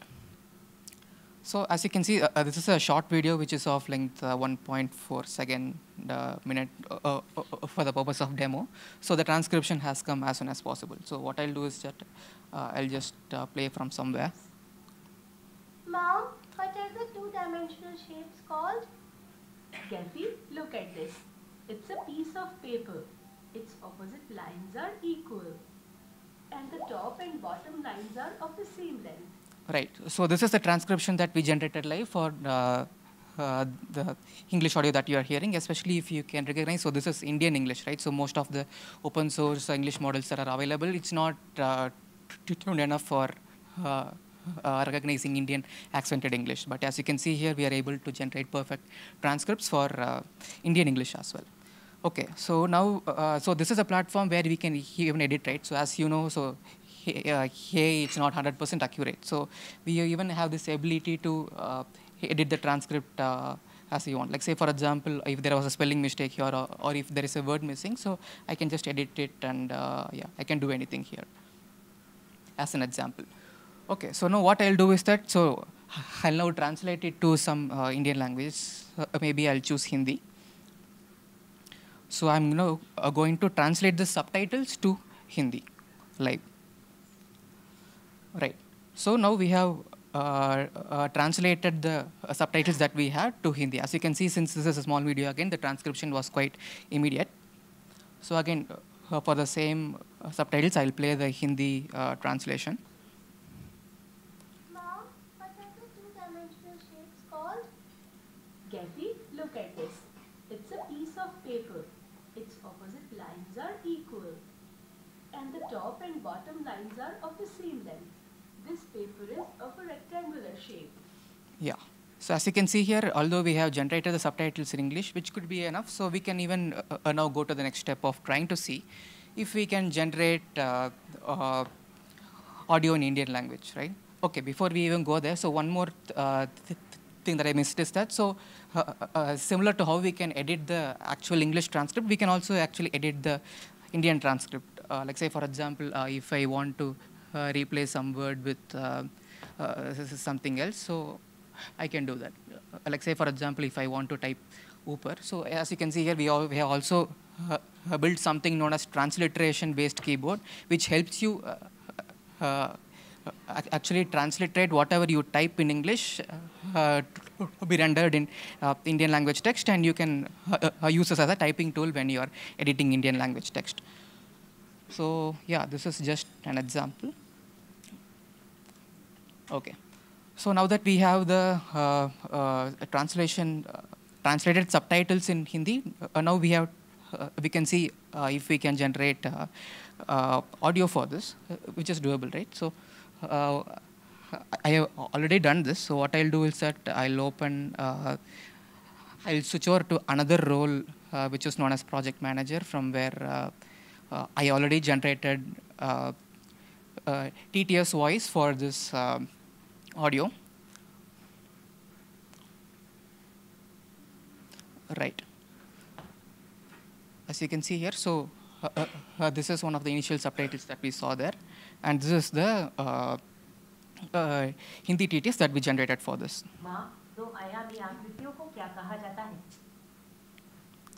Right. So now what I'll do is that I'll just play for another one. That and maybe I'll play at another one. It's not showing properly. Okay, yeah. So uh, now that we have uh, converted the English uh, uh subtitles to uh, Hindi subtitles, and then now that we have uh, converted the Hindi subtitles to uh, uh, TTS audio. So what's the final thing to do? So it's uh, uh, taking all these TTS generated audios and trying to uh, stitch it back to the video and render it in the uh, same video, right?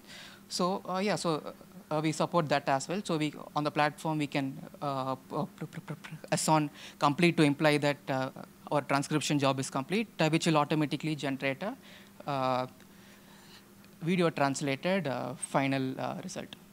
So what I'll do is, uh, once again, I already did this to save some time.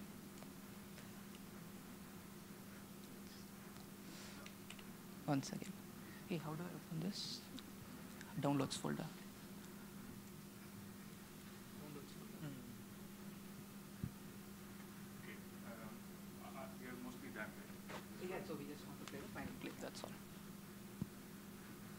So we'll now show you uh, the generated final uh, audio clip.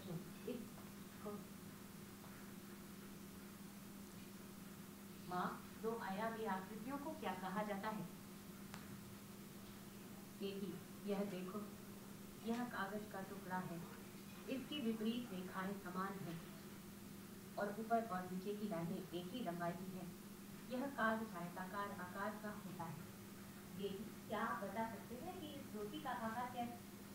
So as you can see here, we have the final uh, speech translated embedded in the video.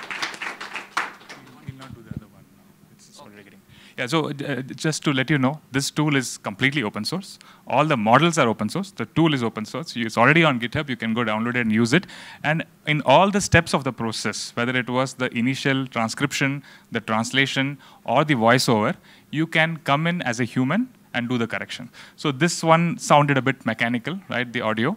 You can come in and record audio on that UI and synthesize this video such that the audio looks proper and so on, right? So this is, again, the whole idea is to make this open and let people work uh, on it. And we are learning and getting feedback from various people. One, peop one set of people we work with is NPTEL, which is the largest MOOC platform for higher education. So we are going to transcribe uh, 5,000 hours of their videos uh, with this tool. So we have this uh, government intent to make uh, higher education available in different Indian languages, right? So we are at 129. Again, thanks uh, Gokul and Ashwin. They had more to show, but they will be in a demo booth outside. If you want to go talk to them, they'll be available to show the Dhruva platform and other things, which again are open source things that you can leverage, right?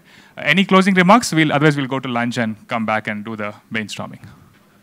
So first point, what are the key problems that you think we should be solving as a community? That Ruchita will start writing as we speak. So that's one topic we will do, get done in five minutes. By the time Pratyush and Mitesh walk into the room, we have a very exciting conversation queuing up for that. Before that, please. Any, any topic. Learning AI, language AI, to start with. But in the learning space, in the education space, yeah, of course, of course. Uh, actually, like I want to speak on that personalization only, which I was uh, making a point earlier.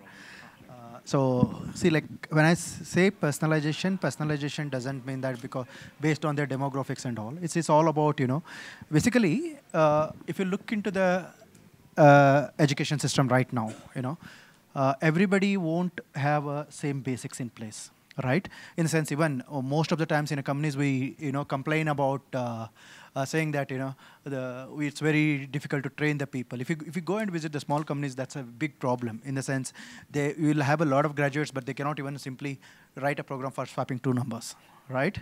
No, that's a reality. We all have to accept because the reason is reason is because the, it it all boils down to the basics right? But most of the people won't have a proper basics in place. That's where you know that will be carried out because of uh, getting into the rat race. Because see, all of them are not. We should because most of the companies they will have a folks who are working are not from the premier institutes or something.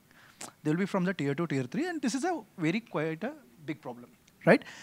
So that's where the personalization will come into the picture because see like when uh, when we train directly if we you know put you know, put them onto the some digital content and if we give them some content and ask them to go through that and when we start you know uh, training them again if we are training you know uh, 100 people then probably like 5 to 10 people can pick up. But uh, in a for industry for a small companies why it matters most is we don't want only 5 or 10 out of the 100 people to be trained and effectively contribute. We want at least 80 to 90 people to be you know come up to speed and they can start uh, transforming themselves into the work as soon as possible, right? That's a motto. For that, how we have to do, we need to understand where that each and every person stands with respect to the, uh, you know, the understanding or a basics required to attain that knowledge. For example, I am representing a data analytics company, okay? If anybody coming to uh, Tibil, for example, the company which represents, that I expect a, a guy to be little bit aware of the statistics, guy little to be aware of the mathematics. It's not only pure uh, coding or something, right? But most of the times when we get a profile, they are a very they claim themselves as a good programmers. They will have a great good GitHub profiles. But when you start asking them a statistical questions, go on.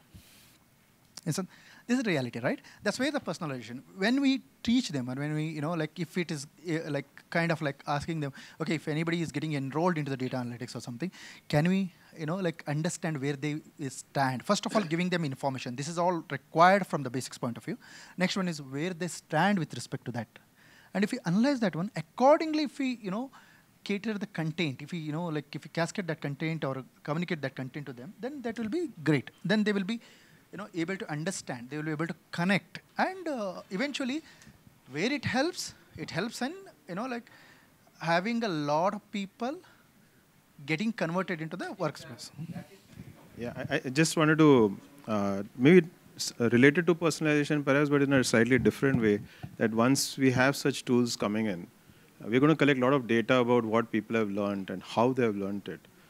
And, and you know, you can start thinking of you know, after all, today learning is a lifelong thing, right? I think all our experience, you don't stop learning in college and so on. You learn your whole life, which means if if if there is all this data out there about what you have learned and how you have learned it, you can have uh, uh, systems which tell you what you should learn, not just learning, you know, uh, uh, learning a particular thing, right? Like uh, photosynthesis, but a, a broader thing. I think so. There might be a need to also think, you know, what about a life coach or something almost, which helps you through your life and you collect your learning. Uh, you know, your, the record of your past learning can help drive your future learning. Uh, just like you know, we're having a medical history, maybe a learning history, uh, just an idea. Correct, because today it's not possible, right? Because we learned something in school, there are different teachers. You know, each stage, uh, like you go to college, they, they don't know what, how you did in school. But with tools like this, you could have your own personal history carried with you, and I think that can that can have other other uses. You know? Maybe look at your past and say, perhaps you are suited for this type of a job. You know, counseling, right? Uh, and so on. So there are, I think, many. Uh, there's data coming out of this exercise which can have other usages. I think, you know, just a thought. Yeah, we may want to capture that uh, there are now rich data sensors, right, uh, that can drive some of these decisions, right? So, uh, two topics for conversation that come to mind. One is how would education be reimagined in this world, right, where intelligence is, is at fingertips. Uh, that's one. The second one is around, I mean, when we think about building all of these as tech stacks, how do we actually go to market with this, right? Uh, because go to market is equally important for being able to deliver impact at scale. And we saw Aadhaar and UPI take two very different directions to do that. So what would be the right go to market strategy for the education tech stack?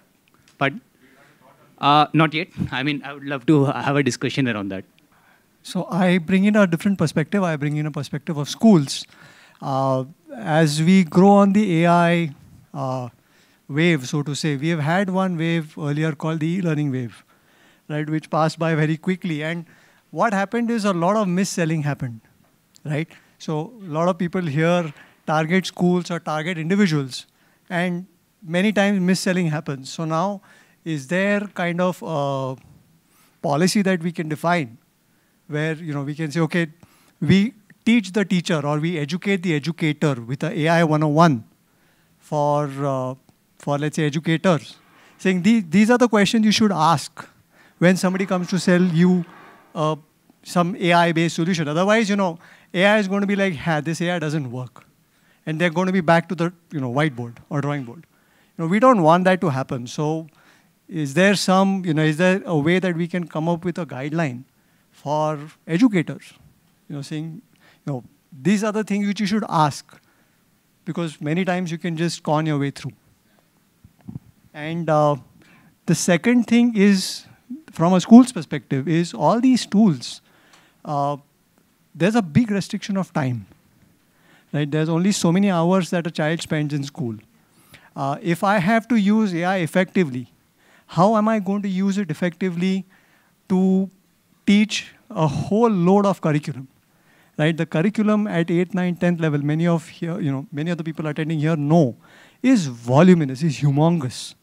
So it is impossible to dedicate specific half an hour or one hour a day to use some technology effectively or innovatively to bring in some innovation. So there has to be some rationalization on the curriculum side. So it has to be kind of policy driven or government driven to change the syllabus to make it so that you can bring in some innovation because there is just no time otherwise. So adding more entropy to the discussion, I feel like uh, curiosity and intrinsic motivation is so important to first enable uh, whatever we build for people to learn. So even with ChatGPT, knowing what to learn by, uh, I think similar lines on having a life coach, for instance, but enabling students or learners to reflect, to kind of know what to learn and motivating them uh, most of the education education system right now is kind of uh, fueled by the extrinsic motivation, like marks, everything. But how do we get that? Maybe there is a way to kind of build that. Now we have the tools to learn whatever we want, but how do we get that spark in learners? And maybe AI can be used to uh, trigger that. So that's my. So, uh, so what what I bring actually is uh, holds across uh, domains, not especially education and skilling, but actually I see the most problem thing it is for education skilling. Unless we, we envision where we want AI to be in this field, you know, apart from uh, the, the whole society, what we are going to actually do in this problem, if you don't, if you go the wrong way, for example, WhatsApp teaching. Why it failed? Because we, we simply forgot that children getting mobiles on their, in, the, in their hand is a problem. We didn't realize that. Okay, so if you do mistakes here, we are not only doing mistakes in, in, in the domain of space, but we are actually we are trying to teach them. That means we are going to create citizens of tomorrow. So it's extremely important that we have a structure and at a policy at whatever level it is, that what are the boundaries that we want to draw and where we want it to go. Unless we are clear, I think this, this is going to be a really dangerous situation. So uh, my view was just to expand on what he mentioned. You know, while we are doing a lot of teaching, teaching, I think the skills what they learn is equally important. So therefore, enabling trainers, faculty, etc., is definitely I feel we may want to consider as one of the area. Plus, um, the industry. I mean, I come from a vocational skilling background, so for me, bringing industry and institute closer is a big challenge at this point of time. So is there something that can be thought on those lines where I can prepare the uh, people for future of skills and that cannot happen without industry. So how do we bring them together is uh, one thought that uh, was a problem area that is there for me. Second problem, Second piece that you know, um, uh, we second piece that I also want to say is when we say skills, eh, one is your domain skills, but there's also a softer element to that skill, which is your um, maybe your 21st century skill or who I am as an individual, um, which also plays a very critical role. Uh, can that be addressed? Can that be? Uh, can we support uh, the young in um, you know discovering that space through AI or or or through some some system? uh, which plays a very important part when it comes to skill building. Okay. Uh, just before presenting my point, by a show of hands, can I know how many of you think our education system in India right now is flawed? Okay, so my thought, I, I'm Naman, and I'm a class 12 student myself. So my thought is instead of introducing uh, AI to our education, I am thinking why can't we build our education system around AI? Because uh, because in today's industry, as some of our teachers and fathers tell us that specialization is preferred over generalization. So instead of you know learning the same curriculum, you you can, uh, an, an AI can customize a curriculum for you, and you know with the direction that you want to proceed, and it can help you go, uh, go that way. For example, with myself, when I wanted to learn Java, for example, I had some scale of it, but I did not, you know, know it properly. So ChatGPT helped me figure out what is my level, and it helped me teach the language to a certain level. So that cannot be, you know, done while, when you're learning through YouTube videos or you're joining a course, or a separate course has to be created for you. And so, you know, to fast track the process of learning and to be taught how to think properly and how to solve problems is more important than you know learning the skills. Skills we do have resources in this entire world that can help help us get skills but we really need to be taught how to solve problems or what is the right way to think. Great point. Uh, first acknowledging that and i think uh, because he's so close to it uh, going through it right now so the passion is there. But uh, the point that i want to make for, for the rest of us, it's a secondary problem now. But if the millennia, millennia old problems are not put in the center or put in the focus, then they won't be solved. Uh, the reason sort of uh, EduSat, one laptop per child, and uh, everything else, WhatsApp that was mentioned just now, everything that we can look back at and uh, say that it did not work out, and this point was raised here as well, we have to really move beyond uh, thinking of the knowledge-based learning. And if this, if the technology that we are looking at is more about skills, then let us actually focus on the skills. Because uh, until unless we do that, it will again be trying to get the knowledge across. Why did Naman, you have to? Uh, why did you have to learn photosynthesis with the equation? Is a question that we should ask. And until unless we ask that, we will try to teach everyone that equation and the point of motivation will come in again that I don't want to learn that. So till we address the millennia old problems and actually focus on them, we will again try and solve what is near term, what, see, what makes business sense for us. What makes business sense is to get in, get in a place where we can get a product out. And then again, we will be doing this, repeating the same mistakes over again. So if this group is about education, then we should really uh, come bare knuckles at it and say that let's try and tackle that problem. Think about the skills. Think about the skills that you want to build and focus the effort on how can we use this technology and other pieces that are coming out on that problem and focus more energy there. Because if we focus on the near term, we'll again be repeating the mistakes we have made a number of times. So I'll i think it, it is just continuation to what he was saying, right? I think what makes us humans unique is that we are creative okay? We are creative okay? And ai is not about automating what we have. So education is not about automation. It's about how do i actually put some guardrails such that you know i can still have creative thinkers when i actually use ai for educating. I still should have our children to be creative to think new things and not just be asking what what what. It is also about what next right? Not about what in the past so how do I build those guardrails becomes quite important when it is education. So there is a beautiful analogy with ChatGPT, right? In Buddhism, you have something called samskara and smriti. So smriti is that memory, and samskara is what you have experienced, which is nothing but the data, right? And that is not just us. It's also about our critical thinking, which AI might not be there yet, but it is about how do we actually use it to help us. So in this, I think education and skilling is already, I think we know a lot about it. Correct. Okay. One line. so AI is there. So my first priority, I think, from all this thing is that we need to have a framework for policy, and we are only specifically talking of AI.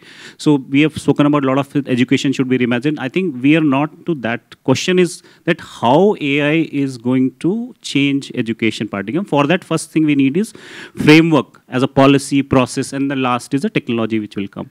And second thing which you know there are there is something called education and there's skilling. Education is driven by it's a supply problem right? School has to teach and we have to reach. Skilling is driven by the industry. Industry demands and then so these are very two different things to address. So both have to work in a different way. And again the question is are we addressing for all or are we looking at some section of society? So if my ai for education is for all the student including including somebody in jharkhand remote village also to address it then the solution has to work that way. If it is only for bangalore people then it's a very different way. So i think that is how we have to define the problem from a framework perspective. And rest all is uh, finally i have the mic so yeah uh, so very interesting discussion. Uh, yeah, so I, we will be showcasing something called as P by C, that is programming by conversation. We also have a demo booth here, but wanted to show it to this particular group and want to get your feedback. Okay, so this is a research prototype, and we at Microsoft Research, like me, uh, Pratyush, and to Vinod and Nishchit sitting here. Yes, I know. uh, we have developed this and uh, so, yeah, so so so just to give you a broad idea so we are because of all of this chat gpt and llm wave it's very clear that the whole programming industry will get disrupted okay? But on the other hand we also see that like many of the novice programmer or people like doctors lawyers or even like your maid or your cook who has never coded in their life they might want to build some application.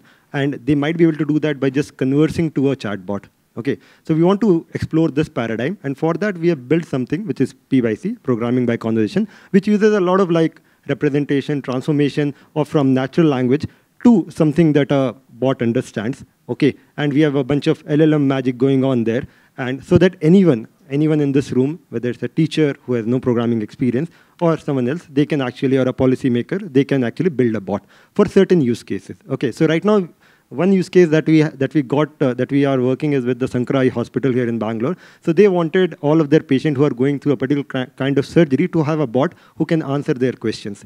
Okay, and now the doctor wants to build build this bot on the data that they have at the Sankara Hospital. They have the standard operating procedure SOP manual. They also have some FAQs, some post-operative, pre-operative questionnaire that they have answers to, and they want to put that in a in to build a bot. Okay, so let's see how they can do that using this P by C Studio. Okay, so here he will just, uh, yeah, so Nishchit is just running the demo. So you can see that uh, he has just taken a template of a simple chatbot and is writing that as a cataract bot with a description that it is a simple health bot for answering cataract questions. Okay, and then once he clicks OK to that, so this is the interface right now where the right hand side is the developer interface. So there actually the, the, the doctor will say something like, today I want to build a, a, a bot for for helping my patient with cataract surgeries and the and here is like the sort of like the text that he gives that in to answer pre and post surgery concerns and based on that it automatically actually updates the rules that, that will go in the backend. Okay, so that the rules and everything are getting populated in the center, which is the representation space, and that is something that can be hidden. But for this demo, we are showing it for more understanding. Okay, and similarly, he, the the doctor can also say that like because it is a patient bot, uh, it has to be more empathetic in nature. They can make their own, and similarly, I, like if you are, I don't know, if you are, have an agricultural startup, then you can make your own bot with your agri experts if you're a teacher, you want to make a bot for your student in a specific manner, so you can do the same. So it's a, it's a tool which allows or enables anyone to build a bot, okay? Yeah, by conversing to a bot. No, no, no, so everything will be like the bot, like we'll just show you like how easy it is to make one, okay? Okay, perfect. So yeah, so actually he has added some more data that like, yeah, because uh, like Oh, sorry. Yeah. So, so yeah. So Nishchit has, has added some more thing that like make sure that the bot is empathetic and answers from the provided document because it's a it's a doctor bot and they don't want the general uh, LLM knowledge to be part of the answer. Okay. And now now Nishchit will just upload two documents from the uh, from his uh, uh, he's browsing through it, the FAQ and the general information about the surgery. Okay, he'll just upload these two documents, and you can see that it will automatically update the representation here. So the private knowledge base will get updated based on that. And finally, once you have done all of that, the bot is sort of ready. And the right side is actually the, the uh, uh, where you can actually test the bot, what you have built so far. Okay, so that is like the developer mode, this is the test mode. And now he'll go here and uh, interestingly, when I was building this bot, the most common question which patient asked doctor is like, uh, can I eat biryani after surgery? Okay, so, so Nishit will ask that question. Uh, anytime in life, you have no restriction for biryani, yeah. it's okay. So it says that unfortunately no food res restrictions have been mentioned in the knowledge base. Therefore, it is not recommended to eat biryani after surgery. okay. So, so it is, it is, huh? Yeah. Very biased against biryanis, obviously. So, so, so this is a wrong answer. So basically, after the cataract surgery, you are not allowed to eat hard food uh, because of, and biryani apparently is hard food, so you shouldn't eat it for 10 days. So what the doctor can do here, the doctor instead of like going through the knowledge base and fixing it, the doctor can just, the doctor who is the developer here, he can just do a thumbs down here, saying that this is a wrong response, don't give it to my patient and once and then they can go back to the developer mode and they can see here that this has come that this wrong response has come here. They can reply to that response saying that like oh for 10 days after surgery or yeah you should not eat this kind of hard food. And now that will automatically update the knowledge base and then they can come here and again test it out. And this time they can also test it out in any any other language. So we'll try it in hindi ki kya main biryani kha sakta hu after surgery and see if that works okay? Sure, yeah, you can, we can try some other food as well. Yes, yes. So it says that कि surgery के 10 दिनों बाद तक बिरयानी जैसे सख्त भोजन ना खाएं, which is basically what we have put. Okay, but as someone asked, we can ask some other food like, uh, can I eat uh, yeah, you can you can type in. yeah, exactly. So this is the last bit. Like, yeah, you can just uh, say like, can, can can I eat curd after surgery? Hard to type. I'm just taking the easy one now. So yes, you can eat curd after surgery. Okay. So yeah, so this is the whole idea, and I think the important point is that like like we will try to make this uh, open source maybe in the next month or so, and uh, and you guys should come up with like more use cases of where you can see uh, like building such kind. It will be on GitHub, like even the, all the source code will be open source, and the tool we will like release it. Yeah. Exactly. Any questions, early reactions? What do you think, and where do you see a usefulness of such a tool? Yeah that's what we want to make it like that but like it, it is slightly more than that because once you have built it you will actually test it out on 100 of questions and you will figure out like maybe for 20 of them it is not working then you will fix for those 20 then you will again like test it out but but the beauty of it is that like you are you are not touching the code at all you are just using a place where you are just talking in natural language and getting a bot as output that's it yeah think I might be the only doctor in the room. I'm not sure. But uh, uh, so actually, I was thinking of, oh, right, clinical doctor, sorry. Uh, clinical doctor. Uh, so I was thinking about self-care for diabetes and hypertensive patients. This is a common problem that we're always facing with, right? Um, actually, uh, the other question that I wanted to ask was, how do uh, patients access this? Is this on, can they use it on WhatsApp or? okay. Okay. WhatsApp? Okay. Okay. Okay. Okay. Yeah. Yeah, and the, and the last possibility is for medical students. We give them textbooks that we train them on and use this. That's, yeah, yeah, yeah, yeah, for sure, for sure.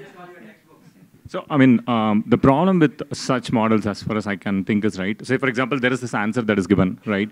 It, it, will it also show the source of which document data was used to give this answer? Because why I'm asking that is, testing this non-deterministic models is going to be very painful. For example, I upload one other document. I don't know all the answers that it gave before is going to continue to give the same answers, or it's going to get changed, right? So, is there anything like that, or? Yeah, let it let one be there behind. Uh, shall we just identify because they'll not have so much time to present to Nandan, right? We want to help them. Maybe three is three a good number to look for. So I think one broad uh, set of questions was around the uh, rail uh, the rail guards when we build something like this, right? So what, how do you, what are the principles? I think also Niharika started off with that. What are the principles when we deploy this fairly complex technology for something uh, fairly important as education? Maybe it's worse in healthcare, but at least education is still very important, right? So uh, that is one. Is, is that is that an important thing, right? We agree. Okay. Uh, so please, please put please put down policy there also. I think he has been raising policy. I think you need to also involve uh, the government to put together, yeah, boards and so on. Uh, what would be a second? Education has been happening in a certain way, and if we are just sort of putting AI on top of that, then you're reinforcing the old ways of learning. But do we now, before jumping very deep into it, do we reimagine the end state? And you know, I think some conversation around skill-based learning, etc., and then you know, sort of backtrack from there in terms of the use of AI. Uh, no, I agree. Just can we make that a bit sharper? So what you're saying is also there was a co uh, comment earlier. Um, is is there a need to reimagine, right? Uh, so I think we heard about parents could be supporting, teachers could be supporting, schools could be involved. Is there is it a large enough technolo uh, technology change that we may have to reimagine what roles different uh, stakeholders play in education, right? Uh, we will help them answer it, but I can really solve those problems. It's not just simply because I'm having AI, I cannot put the AI on it, right? So if we can make a statement which like, okay, these are my challenges, and this is where AI can really solve the problem compared to other things. You got then it? it will make a. Very good. So, would you use the word intersectional or interdisciplinary? Because now there's possibility to mix so many interdisciplinary. disciplines I think the larger story that you talked about, the mesh of the possibility and navigating around that, so it's interdisciplinary. Access to quality education. Access to quality education. Pace. Pace. You said pace as in? Yeah, yeah, size pace. It's Scale question. Were we excited like this five months back? Were we excited like this five months back? No. Question. How many? How many? Yes. So Or forever in the past? If you were you just excited that ChatGPT has come, then probably. we So before ChatGPT, were you excited as much? Okay, a couple of you were, right? I was. So this, whatever language learning thing was conceived one year back. On July 29th, when AI4Bharat was uh, inaugurated. So that was conceived then. I think we are talking a lot about la large language models right now because that's the flavor right now. But even when image processing came out, the ability to look at children's creative arts and then analyze what they are doing or how they are expressing them, themselves at scale was possible, which was not possible earlier. So that's a very different kind of technology. But again, if we just bucket it as AI, uh, what it does is gives us more agency, more abilities, or makes the potential much more for teachers, humans, and anyone and everyone else. LLMs are just the flavor right now, but more such things are possible with all the other AI technologies that are there. So my personal experience, I've worked in AI since 1992. I worked in autonomous car also in AHC, but there is a cycle. Suddenly you're so excited and nice four years you're running and if you catch that whole thing, that's good. Then otherwise- Okay, so here is a time for us to conclude. No, just one last question. Any, uh, I con, any, any, any challenge with this? Just want to end with that one. We can do it in lightning way. Lightning challenge. What is bad about it? Are we, are we solving the biggest Lightning problem? challenge. Misinformation. We are not solving the biggest problem here. The biggest problem is numeracy and foundational learning. Okay. We should focus on numeracy foundational learning. I mean, focus, as in Right, choice. That's the UN SDG, everything. So I, I don't see that. Very, very one-sided. Opinion is one-sided. The educator is talking, but I mean, it's largely the technologist and, and all of that, but the real teacher on the ground still doesn't No. their, know or their opinion. Teacher is missing. We don't have a teacher. Teacher is missing. In the whole narrative, teacher is missing. Sir, for all talk about the segments. pro actually, not a con. No, no, not. Is it for all segments? and- All segment, inclusive. Okay. Not inclusive is your point? Ah, I mean, we need to change chances. Uh, Con क्या है? It may not be non-inclusive, may not. Misinformation. Misinformation or hallucination, all of that. No, no, no, mis mis-selling, mis-selling and misinformation. Oh, Mis-selling, oh, mis-selling, yeah, WhatsApp. Yeah, like now. yeah. Most of the good services are controlled by Sorry, sir. Most of the services are controlled by tech giants. Yeah. The big tech. Big tech. Big tech. Big tech. Is there networking opportunity that we get in schools? One second, no, one second. I think I mean making people aware of the shortcomings of uh, AI as well because a lot of times Yeah. people are thinking that People may not be aware of the shortcomings. Analyze everything and give me the right answer every time. It is not So individuals losing losing agency. Yeah. Individual losing the agency back to The the. ability to think uh, for ourselves. We are allowing ability to think. someone else to assist, not allowing us to think critically. Three more, okay? Amplification of bias. Amplification of bias, that's a very good one. eh? Uh, That's a good lightning answer also. Uh, the scalability uh, leading uh, a teacher to a facilitator. So we are concentrating on improving efficiency by 10x, but there is no inspiration like a real teacher will. Yeah. Uh, Missing in- in- inspiration, where answer is handy. So Last one, last one. Okay, you were saying something. Reducing employment. Reducing employment. Okay, talk to Nandan about it, Reduces networking capabilities of individuals that we get in school. yeah. Okay, so we'll stop. Ankush? Okay, first of all, we should conclude now because we're going back to the main room. So we have the first report out, folks. Uh, report out ready? Almost. Anyway, you have to go there. So first of all, thank you very much. This is the starting of the conversation. All of you get onto the community. This is not going to happen because we spoke. It will happen because we did something together. So my request is all of you to get back onto the community. Let's figure out something to do. I don't know what will come out of it. I'm not assuring anything. I'll also be like you.